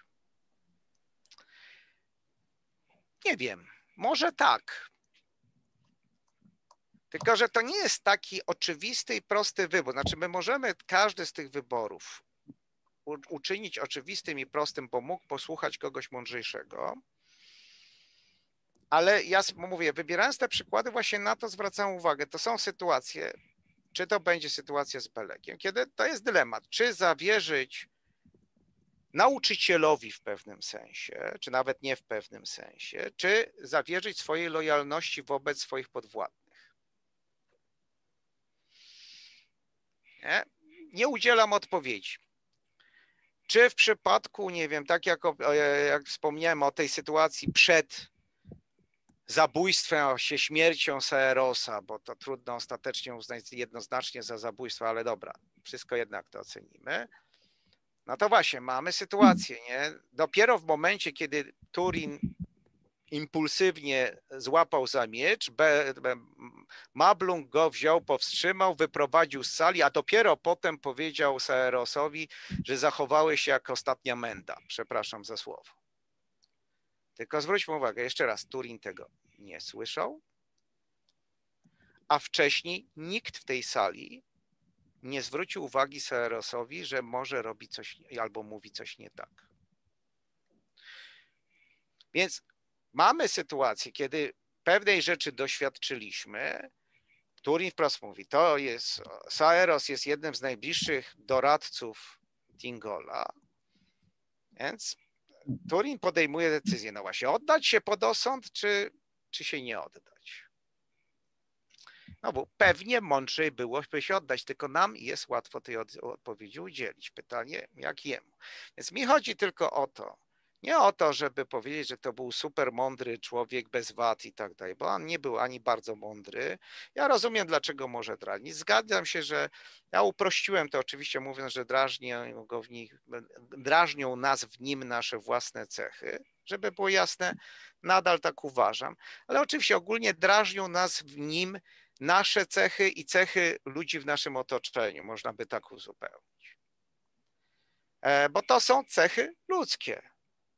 Nawet jeżeli jesteśmy bardzo racjonalni, wi- wiadomo, różni są ludzie, niektórzy bardzo racjonalni, to nie znaczy, że nie popełniamy błędów. Nie podejmujemy niemądrych decyzji. Dlaczego? Bo nie zawsze jesteśmy w stanie przewidzieć wszystkie konsekwencje. Po prostu nie jesteśmy. Znaczy, możemy próbować i należy próbować, ale wszystkiego niestety nie przewidzimy. Nie? Prosty przykład, żeby nie sięgać kurczę bardzo daleko. Kto trzy lata temu przewidział, że będzie COVID? Który spierniczy wszystko? Nikt. To, to jest trochę taka sytuacja. Znaczy, pewne rzeczy są niestety nieprzewidywalne.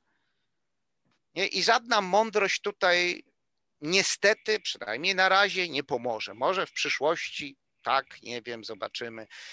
E, To się okaże, nie? Pe- Chociaż pewnie, a nie, pe, pewnie tego nie dożyje, ale to już inna sprawa. Więc mówię, no, no właśnie, bo to, o to chodzi, że to nie jest tak, że no, e, powtórzę się, no sorry, no niestety powtórzę się. No, tak, on ma swoje wady denerwujące, żeby było jasne.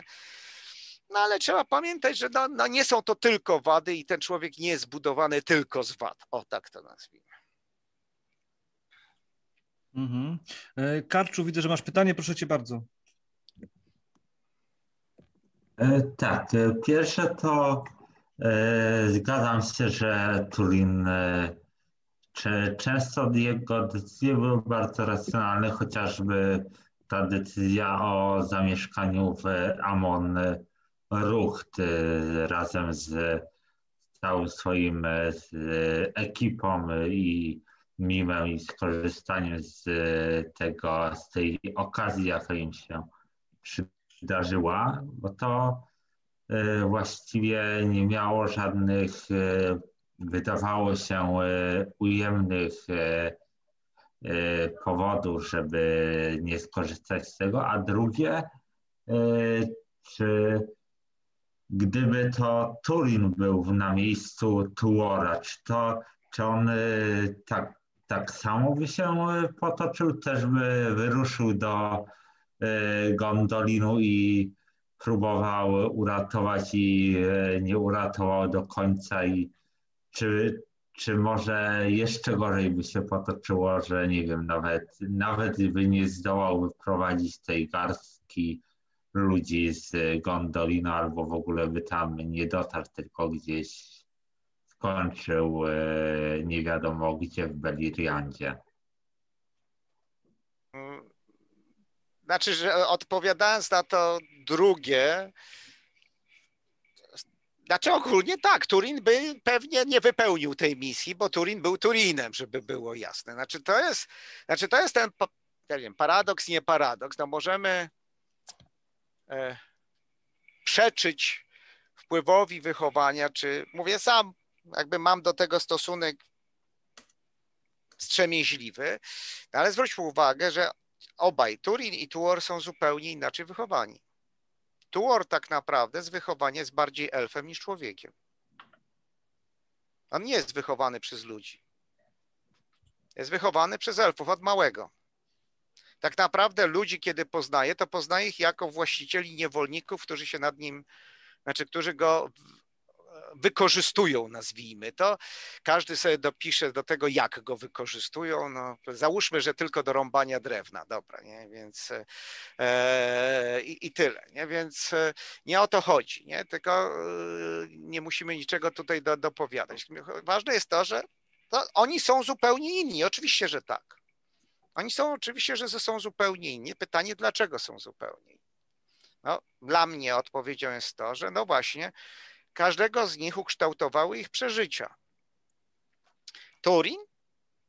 Znaczy, po pierwsze, w ogóle nie wiem, czy posłuchałby takiego wezwania, jakie dostał Tuor. Myślę, że nie, nie żeby było jasne. Pytanie, jakby zareagował na spotkanie z Ulmem, tego oczywiście nie wiemy, ale myślę, że mógłby mieć problemy z akceptacją pewnych rzeczy. No, znaczy, ja zgadzam się, że wtedy znaczy zachowałby się zupełnie inaczej niż Tuor. Bez dwóch zdań. Tylko moim zdaniem to tylko wspiera to, co powiedziałem. To znaczy, no jednak każdy z nas w jakimś stopniu jest ukształtowany przez to, jak i w jakich warunkach został wychowany.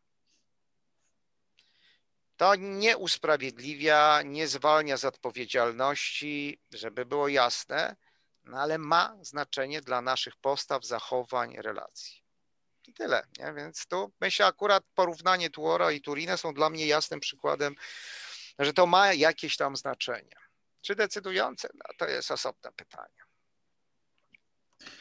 No tak, na pewno bardzo fajnie, żeście przywołali temat właśnie porównanie Tuora i Turina, no bo faktycznie dwie zupełnie różne postaci. E, tak jak ty Emelu powiedziałeś, właśnie słuszna uwaga, że Tuor był od początku, znaczy od początku, od małego, był wychowywany tak naprawdę przez, przez elfy i był kształtowany przez, przez elfy. No Turin miał jednak troszeczkę gorzej. Ja osobiście uważam, że, że Turin po prostu, oni, znaczy inaczej, obaj byli dumni, ale różnica między nimi jest taka, że Tuor nie był arogancki, tak jak był właśnie Turin. Jednak mimo wszystko Tuor y, słuchał, y, tutaj już nawet zostało to poruszone przecież, y, Tuor słuchał dobrych rad, ale też kierował się jakby własnymi, własnym rozumem. Natomiast tutaj mamy jedna rzecz, która ich łączy na pewno, to to, że na los obu tych ludzi wpływ mieli tak naprawdę Walarowie, czyli siły wyższe, no bo tak jak powiedziałeś Emelu wcześniej, na y, y, kości Tuorowi zafałszował tak naprawdę Ulmo, gdzieś tam mu tam troszeczkę pomagał, popychał go tam, żeby, żeby mu było troszeczkę łatwiej, a z kolei w przypadku Turina mamy, mamy upadłego Walara, Mer, Mer, Morgota, który prawda, mu te kości zafałszował właśnie w drugą stronę.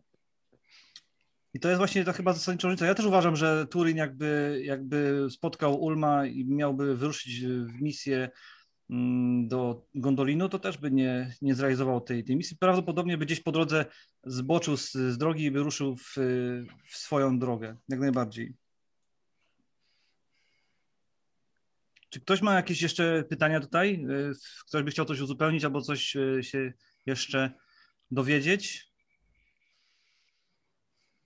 Na razie nie widać. Ja na przykład a propos jeszcze tego, tej klątwy, ja to pozwolę sobie wrócić na chwilę do tematu klątwy i przeznaczenia. Ja się akurat troszeczkę tutaj z tym nie zgadzam, że ta klątwa nie była w pełni e, wykonywana, znaczy, że była, że była do złamania tak w jakim, znaczy ona może w jakimś stopniu była do złamania, gdyby Turin faktycznie posłuchał odpowiednich, odpowiednich rad. Natomiast e, wiemy, że jakoś ten, ten świat, y, czy też antyczny, o którym mówiłeś, ML, który nie jest y, ewidentnie u Tolkiena, nie jest y, tak kropka w kropkę podobny, ale wiemy, że miał na niego jakiś wpływ i ten motyw tej przepowiedni tego losu, zresztą tak samo te motywy skandynawskie, które tam przecież przepowiednia o Ragnaroku i tak dalej, tak dalej. Ja osobiście uważam, że to wszystko i tak miało się wydarzyć tak, jak się potoczyło, no bo wiemy, że na końcu na końcu tej historii jest Dagor Dagorat, tak? którą znamy z przepowiedni, z drugiej przepowiedni Mandosa. E, I tak naprawdę wszystko to, co się wydarzyło na Ardzie i się wydarzyć miało, było znane na pewno Iluwatarowi, no bo się wszystko zrodziło z jego myśli, no ale też niektórym Valarom, takim właśnie jak chociażby Mandos, Manue czy, czy, czy Ulmo.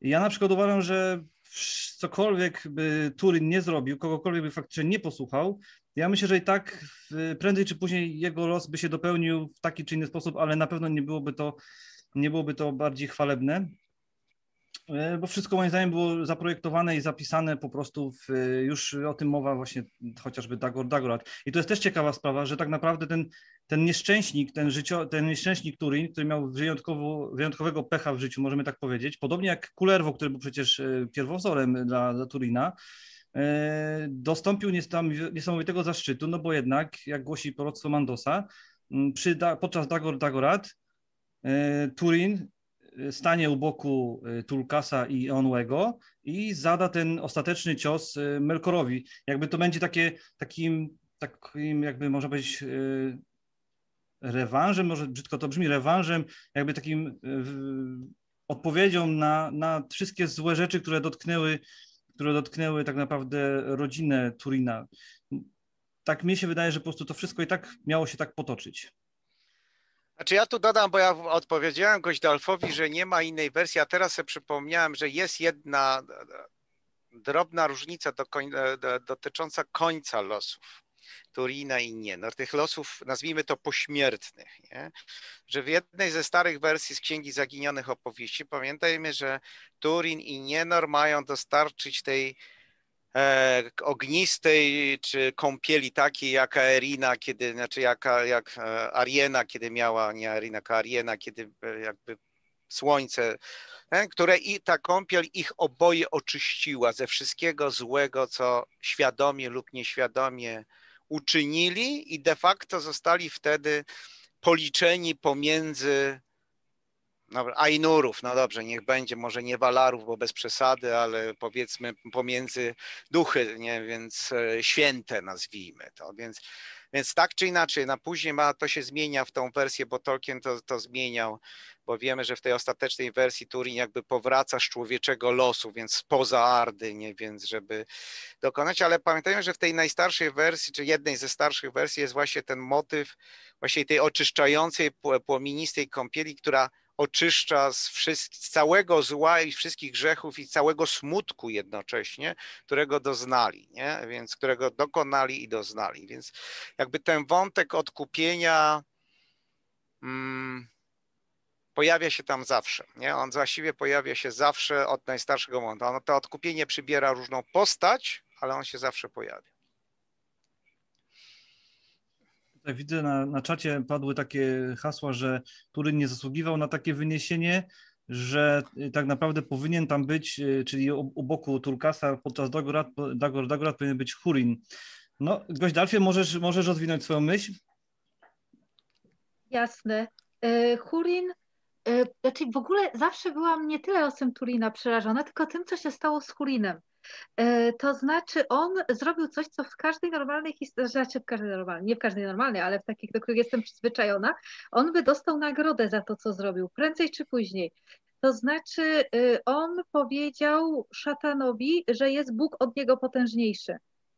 I że nawet jeżeli za życia by mu się nie udało, to normalnie by zawsze by było, że po śmierci by otrzymał nagrodę jako święty, czy ktoś, czy ktoś taki. A tutaj nic się z nim nie dzieje, tylko właśnie jego syn e, taką, taką, taką nagrodę otrzymuje. I że on e, tak, też to, bo to też nie było zbyt inteligentne, ale było niesamowicie odważne i w ogóle takie, no powiedzcie dodatkowo, że to nie on sam dokładnie zrobił, ale jeszcze został oświecony przez Boga, no i potem jakby został zostawiony i, i, i nigdy do, do tego się już dalej nie wróciło. I tym bardziej, że no to on był największym wojownikiem ludzkim, to znaczy na, na, na, na największym, że e, on jeszcze więcej dodatkowo wycierpiał, bo widział tę śmierć swoich wszystkich krewnych, potem odrzucił go własny lud, e, potem jeszcze no, tam rozwalił Bretil, to tak, ale potem jeszcze w, w, dużo, dużo, dużo, dużo, dużo jeszcze dodatkowych rzeczy zrobiło i nigdy nigdy, no, no, no, Turin jakby, e, Turin miał jakby przyjemność zabicia Morgota, którego pierwszy raz w życiu widział i spotkał, a Hurin miał jakby większą też historię z tym. Nie wiem, tak jakby bardziej, bardziej by mi to pasowało w tym momencie. A może po prostu Tolkien tak poprowadził narrację, ponieważ właśnie Turin y, więcej złego zaznał tak naprawdę mimo wszystko od, y, od y, Morgota, tak? Mm, ja oczywiście nie bronię tutaj w żaden sposób Turina, tylko próbujemy, tylko wchodzimy w taką właśnie dyskusję. Mówisz Gosia, że że Hurin bardziej zasłużył, bo był większym wojownikiem i się, jak się tam postawił y, Morgotowi. No tak, to, to ma jakiś sens, natomiast mnie się wydaje, że osobiście Tolkien uważał, że Turin przede wszystkim jest taką postacią tragiczną i jego los, to co go w życiu dotknęło, to co go spotkało, tak naprawdę było takim, y, takim argumentem, który faktycznie mógł być za tym, żeby to właśnie Turin zadał ten, ten cios. Tak, ja, ja to tak odbieram.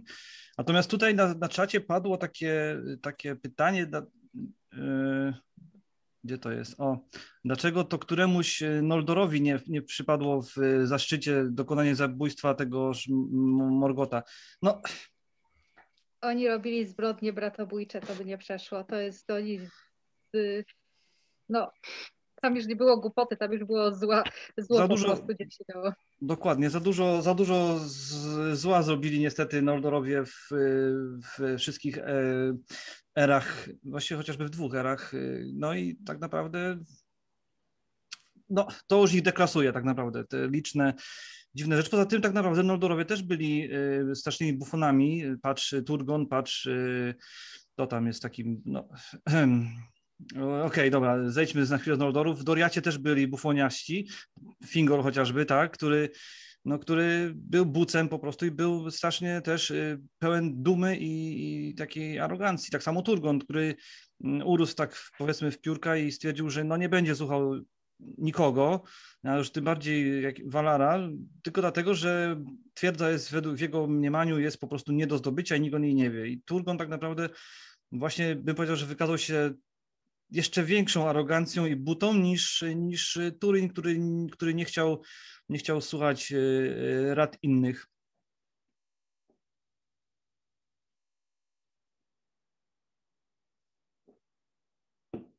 To, o, Emelu, proszę, proszę. Znaczy, znaczy, ja powiem, ja rozumiem tą miłość do Hurina, sam kiedyś e, taką miałem. Nie, nie mówię, że mi przeszło zupełnie. E, natomiast też trzeba pamiętać, że jakby to, co znamy z Silmarillionu, to nawet sam Christopher w pewnym momencie się przyznał, że to jest no, trochę jego wersja, nie, nie tatusia, więc to tak nazwijmy. Jak przeczytamy, nie wiem, Wanderings of Hurin, to Hurin tam nie jest sympatyczną postacią. To jest naprawdę zgorzkniały człowiek, który w każdym widzi tylko zło. Po każdym spodziewa się tylko złego. E, i który wszystkich mierzy właściwie, znaczy każdy jest podejrzany, każdy jest zły, każdy ma złe intencje, on właściwie jest, e, znaczy to nie jest ten Hurin, którego kochamy za e, aurę Entuluwa podczas Nirnaet i, i jego bohaterstwo, odwagę. To jest stary, zgorzkniały człowiek, który szuka na całym świecie winowajców swojej krzywdy, wiedząc doskonale, kto jest jedynym winowajcą te, tej krzywdy. Ale i tak czy inaczej idzie przez Beleriand, jakby na oślep rozdając razy, na zasadzie mi było źle, to niech innym też będzie źle. E, to jest smutne, ale ta historia taka ma być. Znaczy pamiętajmy, że e, w wersji Tolkiena e, samej tam nie ma odkupienia, tam nie ma tego, co znamy z Silmarillionu Christopherowego, że spojrzał w oczy Meliany i opadły mu zasłony. Tego nie ma. Znaczy on, do, on umierając, on umiera nadal zatwardziały w tym, że cały świat go skrzywdził, wszyscy byli przeciw niemu i przeciw jego rodzinie. E, I to jest, żeby było jasne, to jest dramatyczne. To nie jest hollywoodzka historia, ale może dzięki temu jest bardziej prawdziwa. Mhm. E, Idyl ma pytanie i Karczu. To najpierw Idyl, potem Karczu. Proszę bardzo. Mi chodzi o to właściwie, jaką rolę miał ten miecz, yy, który najpierw był Belega, a później yy, Turina. Ten miecz, którym Turin sobie życie odebrał. Jaką rolę. Znaczy, na pewno bym nie powiedział, że to miecz go nim steruje. Nie, nie, tak nie jest, to bez przesady. Ten miecz, co zresztą mówi Meliana, kiedy Belek go wybiera, nie jest dobry. Nie? Znaczy, on ma w sobie coś, no bo to jest świat, no trochę tak jak z mitologii nordyckiej, przedmioty mają coś w sobie z ducha tego, który je stworzył. Eol no właśnie, no Eol, jedyny elf podejrzany o gwałt i, i inne fajne rzeczy w cudzysłowie e, i ogólnie mm, przemocowy małżonek, ojciec i, i, i tak dalej. No właśnie, wytworzył, więc ten sprzęt sam w sobie nie jest dobry, nie można by powiedzieć, czyli nie ma, e, nie jest ten, ale to nie jest tak, że, znaczy ja nie uważam, że on czymś kieruje.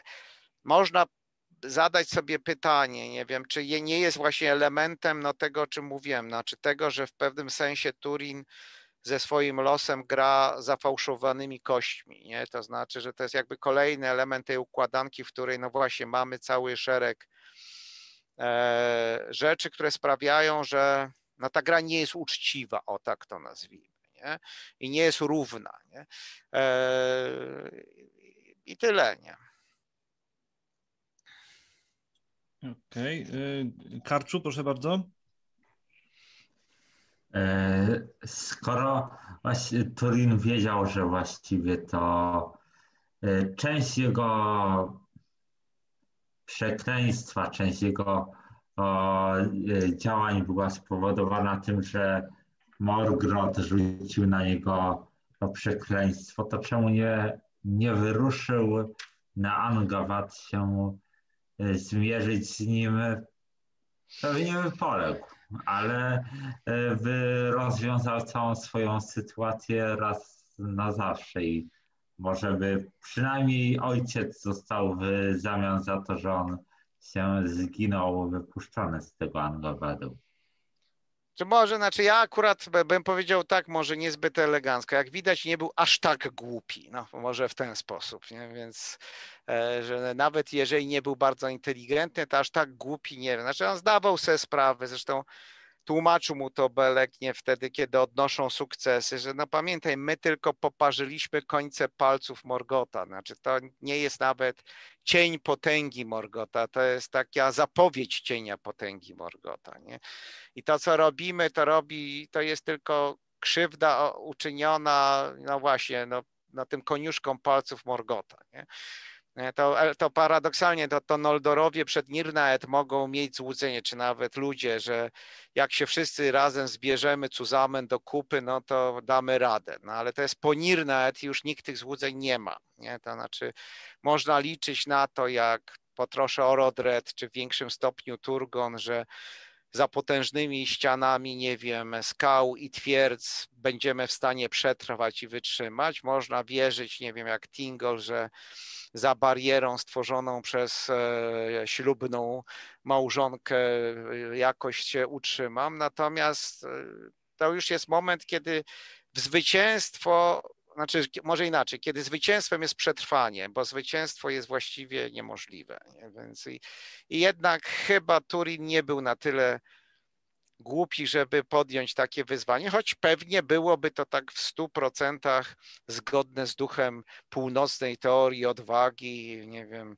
e, i tak, ale tutaj właśnie jak mówimy o północnej teorii odwagi, to jeszcze wrócę do Goźdalfa i Hurina, znaczy dla mnie w ogóle dlaczego ta opowieść ma taki mroczny wymiar, ta, zwłaszcza jej końcówka, bo moim zdaniem i dlatego Tolkien nie zdecydował się na Hurina jako ewentualnego, bo dla mnie Hurin, czy opowieść o Hurinie, zwłaszcza wędrówki Hurina, to jest, to jest tak naprawdę Tolkiena polemika z teo, północną teorią odwagi. Znaczy, to jest, znaczy Hurin jest uosobieniem północnej teorii odwagi i Tolkien chce w ten sposób pokazać, że to jest owszem fascynująca, w jakimś sensie wspaniała, ale fałszywa droga. Ale to jest takie no, moje zdanie. No. Mhm. Okay. Czy ktoś jeszcze ma jakieś pytanie? Chciałby coś tutaj powiedzieć? Nie widzę. Jeżeli nikt nie ma pytań, chociaż zobaczę jeszcze na czacie, co tu się dzieje, bo tutaj cały czas trwa dyskusja jakaś. Ni to do tej pory nie odpowiedziała, o co jej chodziło, kiedy mnie pytała nie, na czacie. Aha. A to przepraszam, moja odpowiedź prawdopodobnie zaginęła w spamie. Chodziło mi o Twoją wypowiedź odnośnie Turina jako niewolnika.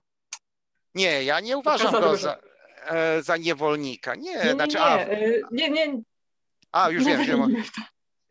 E, nie, ja wiem o co ci chodzi. Nie, znaczy jest lęk przed byciem niewolnikiem, no więc myślę, że gdzieś tam jest to. No nie wiem, może przesadzam. Nie?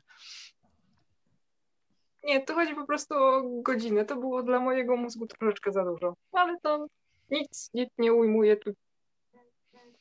Dobra. Nie brnijmy. Nie brnijmy. Dobrze. E, to ja tylko jeszcze się odniosę do tego, e, co mówiłeś, Emelu, właśnie, że tam e, czy Nargothrond by przetrwał, jakby, jakby na przykład tam zburzyli te, te most i tak dalej, tak dalej. Czy tak, no właśnie to jest kwestia też, na chwilę powrócę znowu do, tej, do, tej, do tego wątku przepowiedni.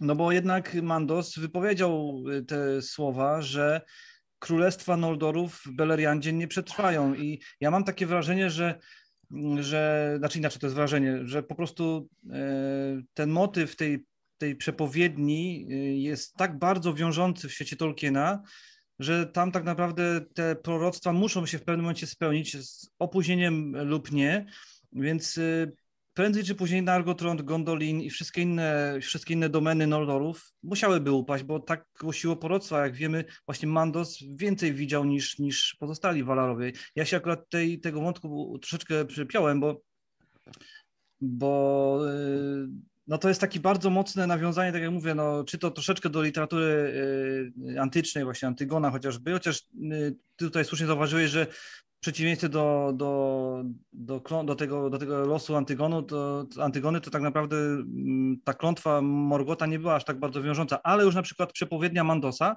jak najbardziej była, była wiążąca y, zdecydowanie.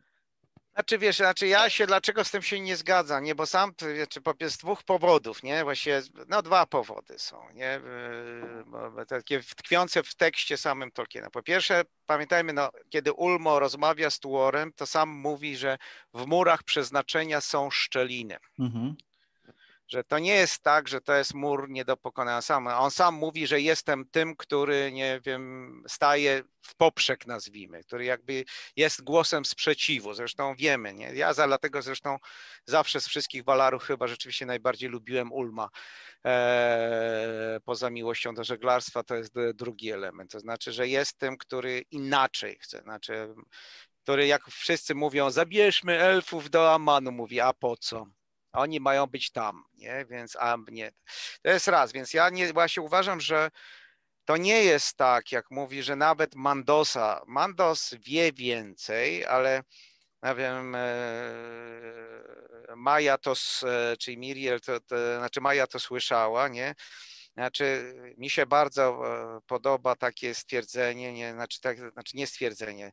Ile razy jest tak, że Mandas wygłasza takiego, żeby było jasne, nie lubię, z, wysokości, że tak powiem, tronu prawie, że wyznacza, wy, wygłasza swoje przepowiednie, a potem przychodzi Manwę, dobra, dobra, gadałem statusem, e, weź pęć na bambus, będzie inaczej, nie? Więc i tak dalej. Więc, e, więc to jest trochę na, na, na, na tej zasadzie. Ja myślę, że ten Mandas był wiecznie sfrustrowany, bo on tu wygłaszał takie patetycznym tonem, a później mu manwę wszystko psunie i, i nie tak było. Ale poważnie rzecz biorąc jest drugi, to znaczy no pamiętajmy, to jest świat, znaczy z jednej strony właśnie jest to, co mówi Ulmo, a to znowu wynika z czegoś innego, to znaczy tego, no co Tolkien sam pisze, że od wszystkich wyroków w tym świecie są wyjątki.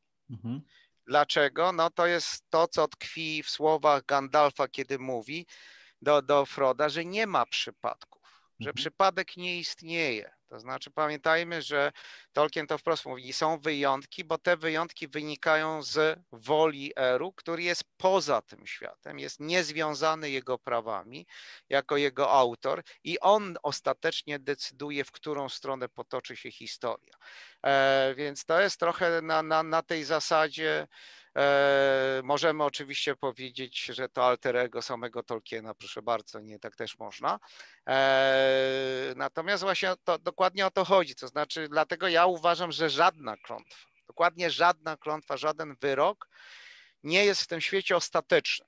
On mhm. jest e, ważny, on ma moc wiążącą, ale nie jest ostateczne. Znaczy zawsze jest, tak jak mówi Ulmo, w tym murze jest jakaś szczelina. Nie? I, no i właśnie, nie? Ta, ta szczelina. Pamiętajmy, że w pewnym sensie nie upadły wszystkie królestwa. Gdyż królestwo Gilgalada na wyspie Balar przetrwało. No tak, racja. Więc nawet to, znaczy oczywiście można powiedzieć, że to być może błąd narracyjny samego Tolkiena, okej, dobra, e, można i tak. E, tam są niespójności, więc to jest możliwe, ale może taki właśnie miał być zamysł, jako pokazanie, że jednak to nie jest tak, że wszystko do końca upada, nie? To jest jednak coś tam przetrwało, nawet jeżeli jest to resztka tylko, nie? No tak, to jest w sumie racja, masz rację, jak najbardziej, zdecydowanie. Tu się zgadzam. Znaczy, przepraszam, jeszcze jedno, jak mówimy o głupocie e, Turina, zgadzam się, mówiliśmy, że tu o Noldorach, dlaczego nie Noldorowie, ale zastanówmy się, przecież Noldorowie też dokonali głupiego wyboru. Wystarczyło w którymś momencie zabrać cztery litery w troki i odejść z Beleriandu dalej na wschód i południe. No, właśnie. Dlaczego nikt o tym nie mówi, nie? Dlaczego fani No no o tym nie mówią? Tak, Stają, wchodzą na te góry błękitne, patrzą na ten Eriador i odwracają się plecami, dobra, tu zostajemy. Nie? Nie podoba nam się tam. Dokładnie. Okej. y, Czy ktoś chciałby Ale- coś... O, Nito, proszę bardzo. Ale wtedy Silmarillion skończyłby się za szybko. Wszyscy wiemy, kiedy Silmarillion by się skończył najszybciej, gdyby mężowie słuchali w tej książce żon. To wtedy w ogóle by tak. nie...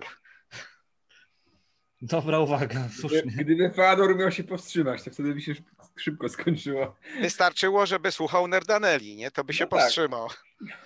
O, Jagoda się zgłasza, bo usłyszała o Feanorze, więc proszę bardzo, Jagoda, będzie, będzie się działo. Ja tylko brawo biję Emelowi za to, co powiedział.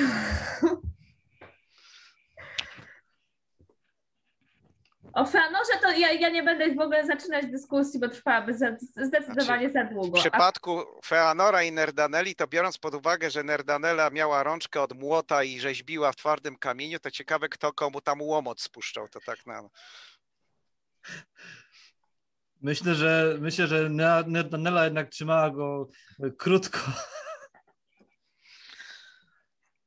Nito, Tak jak ta, jak ta kobiałka paręset lat po, pomachała tym młotem, to myślę, że miała taką... krzepę i, i siłę argumentu. Tak, a zresztą urodź siedmiu synów, zwłaszcza takich, no to też trzeba mieć. Oj tak. Równo pod sufitem. Nito, proszę cię bardzo, bo się zgłaszasz. Osobiście bardzo się zgadzam z Emelem, że Nerdanela była bardzo silną postacią, ale tak samo Feanor był bardzo silny charakterem. Przecież pamiętamy, ile sił zabrał Miriel, więc ten związek był bardzo, bardzo burzliwy. Tam się musiało dziać. Pewnie tak. Ciekawe, co by było, gdyby Feanor jednak zawrócił yy, i wróciłby do domu, no to tam pewnie było tam tym młociskiem przywitała na dzień dobry. Podejrzewam, że nie tylko młotkiem. I tu wchodzimy w tym momencie, co by było, gdyby Turin jednak, e, wracając na chwilę do naszego bohatera dzisiejszego, dzisiejszego spotkania, co by było, gdyby Turin jednak yy, słuchał rad i się cofnął o krok chociażby. Jagoda widzę, że się chce wypowiedzieć. w kwestii Turina, znaczy ta dzisiejsza prelekcja, nie wiem, czy dała mi do myślenia, bo w zasadzie już słyszałam i od Emela, i od wielu osób podobne argumenty. Znaczy, to było bardzo ciekawe ogólnie rzecz biorąc, bo generalnie ja bardzo lubię słuchać prelekcji Emela, ale no ten, ale jeżeli chodzi o Turina, to przyznam szczerze, nic mnie nie przekona do tego, żeby po- tą postać polubić. Może w pewnym sensie zrozumieć, ale polubić po prostu nie, nie, nie, nie, umiem po prostu lubić typa, bo jest tak irytujący z tym swoim Znaczy, ja rozumiem, że on jest tragiczny i że faktycznie w pewnych momentach i że ma takie przebłyski, że jest osobą właśnie tą współczującą, że jednak o tych swoich bliskich się stara troszczyć w jakiś swój taki pokrętny sposób, ale jednak się starał. Natomiast nie, nie mogę przetrawić gościa, może dlatego, że w chwilach powiedzmy najgorszego powiedzmy swojego stanu psychicznego bardzo zachowuje się do niego bardzo podobnie, niestety. E, Może dlatego go nie lubię, bo powiedzmy reprezentuje tą część mnie, której nie znoszę najbardziej. Możliwe, że to jest jakieś takie osobiste, e, więc możliwe, że to właśnie przez to.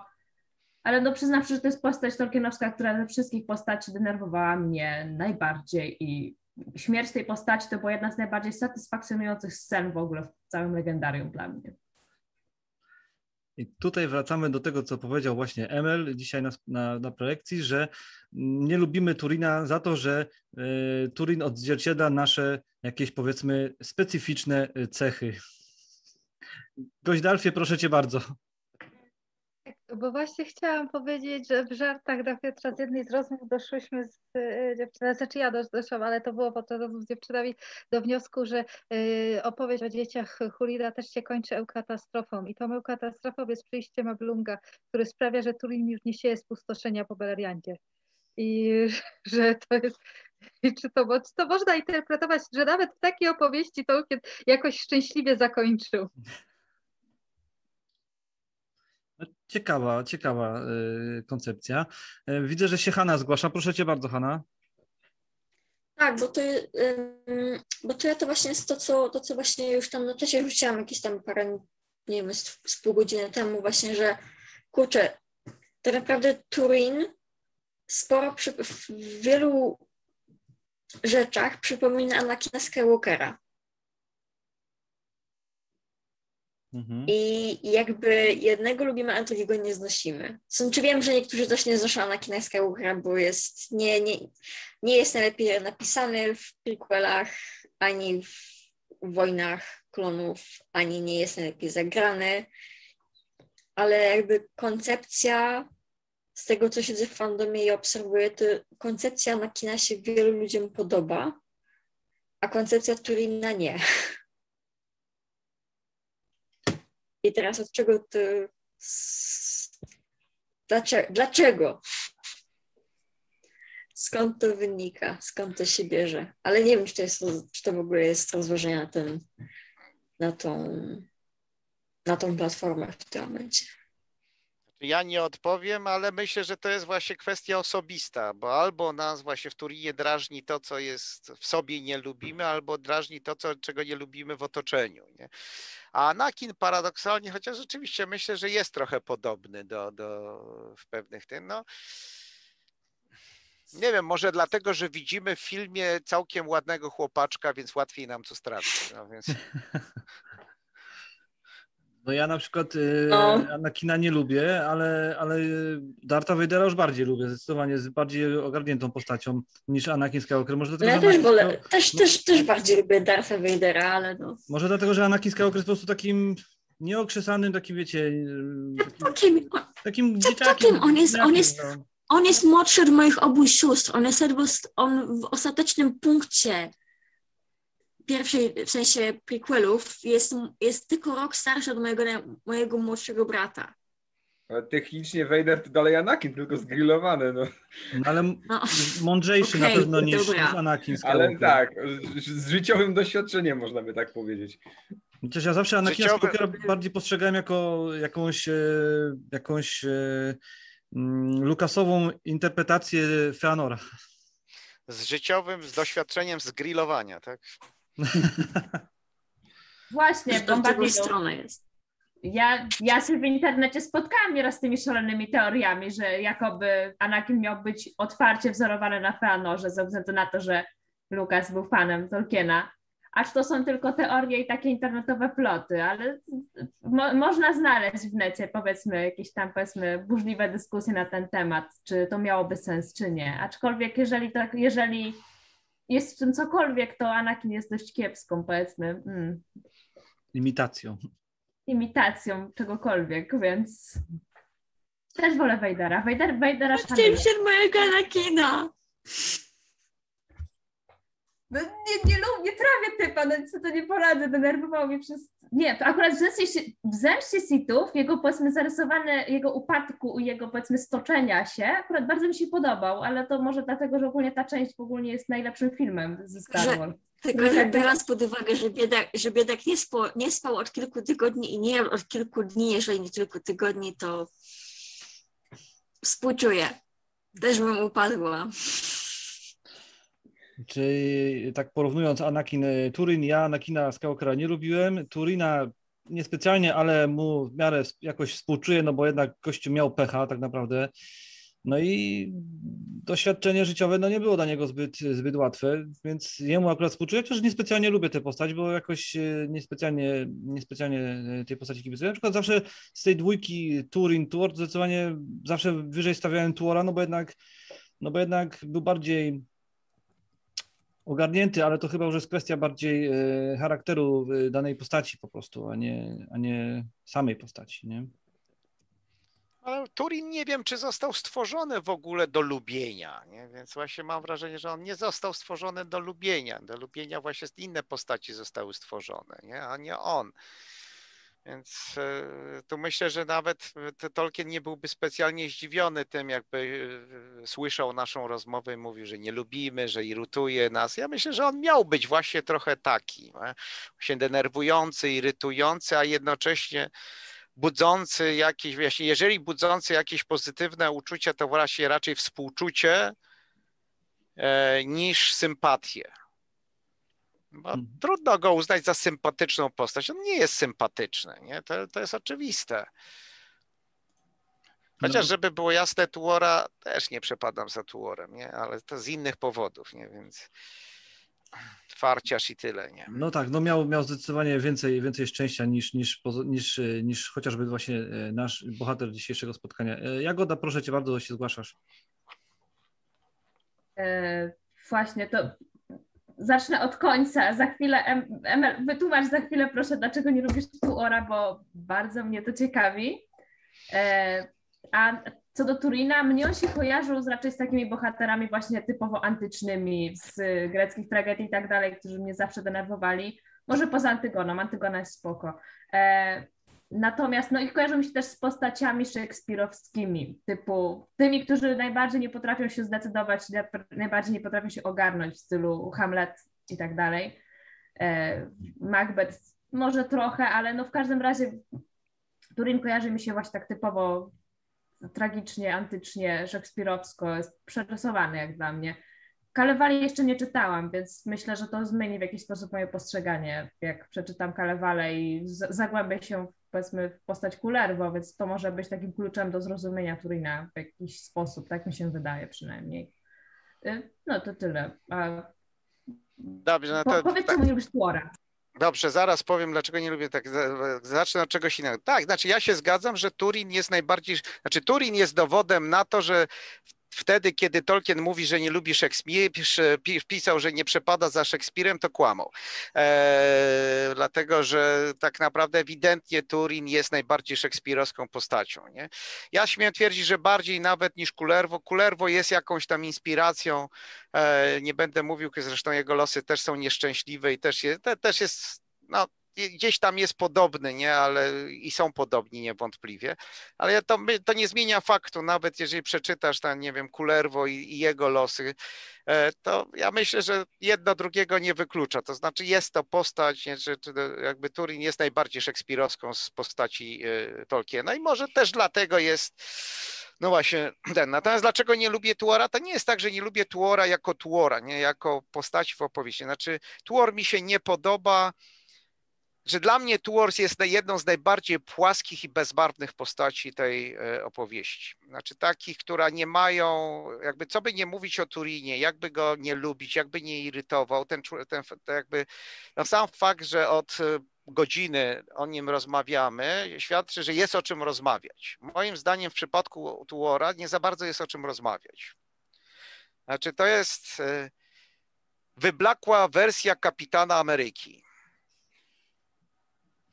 znaczy perfekcyjny aż do przesady. Znaczy, znaczy, to taka po, znaczy dla mnie jest to jedna z najbardziej sztucznych postaci w, w, w całym tej, tej. Więc tu nie chodzi o, o postać jako postać w opowieści, tylko o zarysowanie tej postaci przez autora. Znaczy on dla mnie jest taki, nie wiem, no ja nie przekonuje mnie w żaden sposób, nie?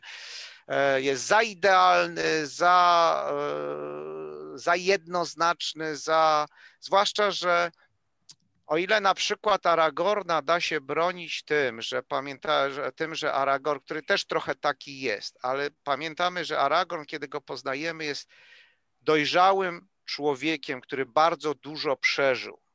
Nie? I tak naprawdę to, jaki jest pewne rzeczy, że on jest świadomy decyzji i tak dalej, wynikają z czegoś, znaczy z, z, życiowego doświadczenia, które pamiętajmy ma wtedy ile tam, 80 lat tego doświadczenia, czy coś takiego, nie? Tymczasem Tuor jest właściwie e, już w kołysce idealny.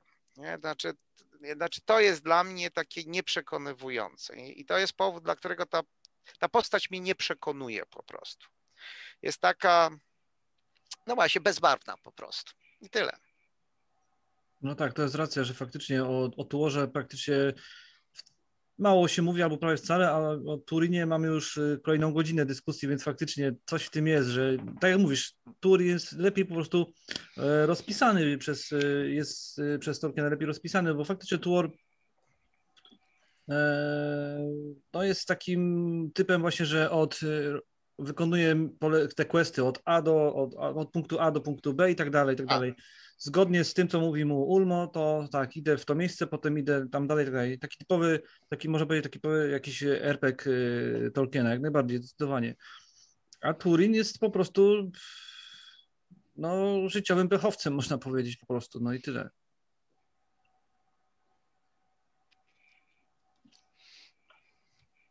Okej. Okay. E, czy są jeszcze jakieś pytania? Bo za chwilę będę kończył nagrywanie. Oczywiście jeszcze zostajemy na e, chwilę jeszcze na, oficjalnej, na nieoficjalnej części, ale jak ktoś ma jeszcze pytania, to jest na to teraz jeszcze czas. Nie widzę. No dobra. To w takim razie ja e, kończę e, nagrywanie, kończę oficjalną część. Dziękuję Emelu za, za bardzo ciekawą prelekcję. Bardzo miło nam było Cię gościć tutaj z, z prelekcją. Dziękuję wszystkim uczestnikom dyskusji, spotkania i zapraszamy na e, kolejny PestCon za dwa tygodnie. Szczegóły o tym, co będzie na, za dwa tygodnie na naszej stronce e, jak najbardziej. Dzięki i do zobaczenia. Dobra, dziękuję bardzo. Bardzo dziękuję wszystkim.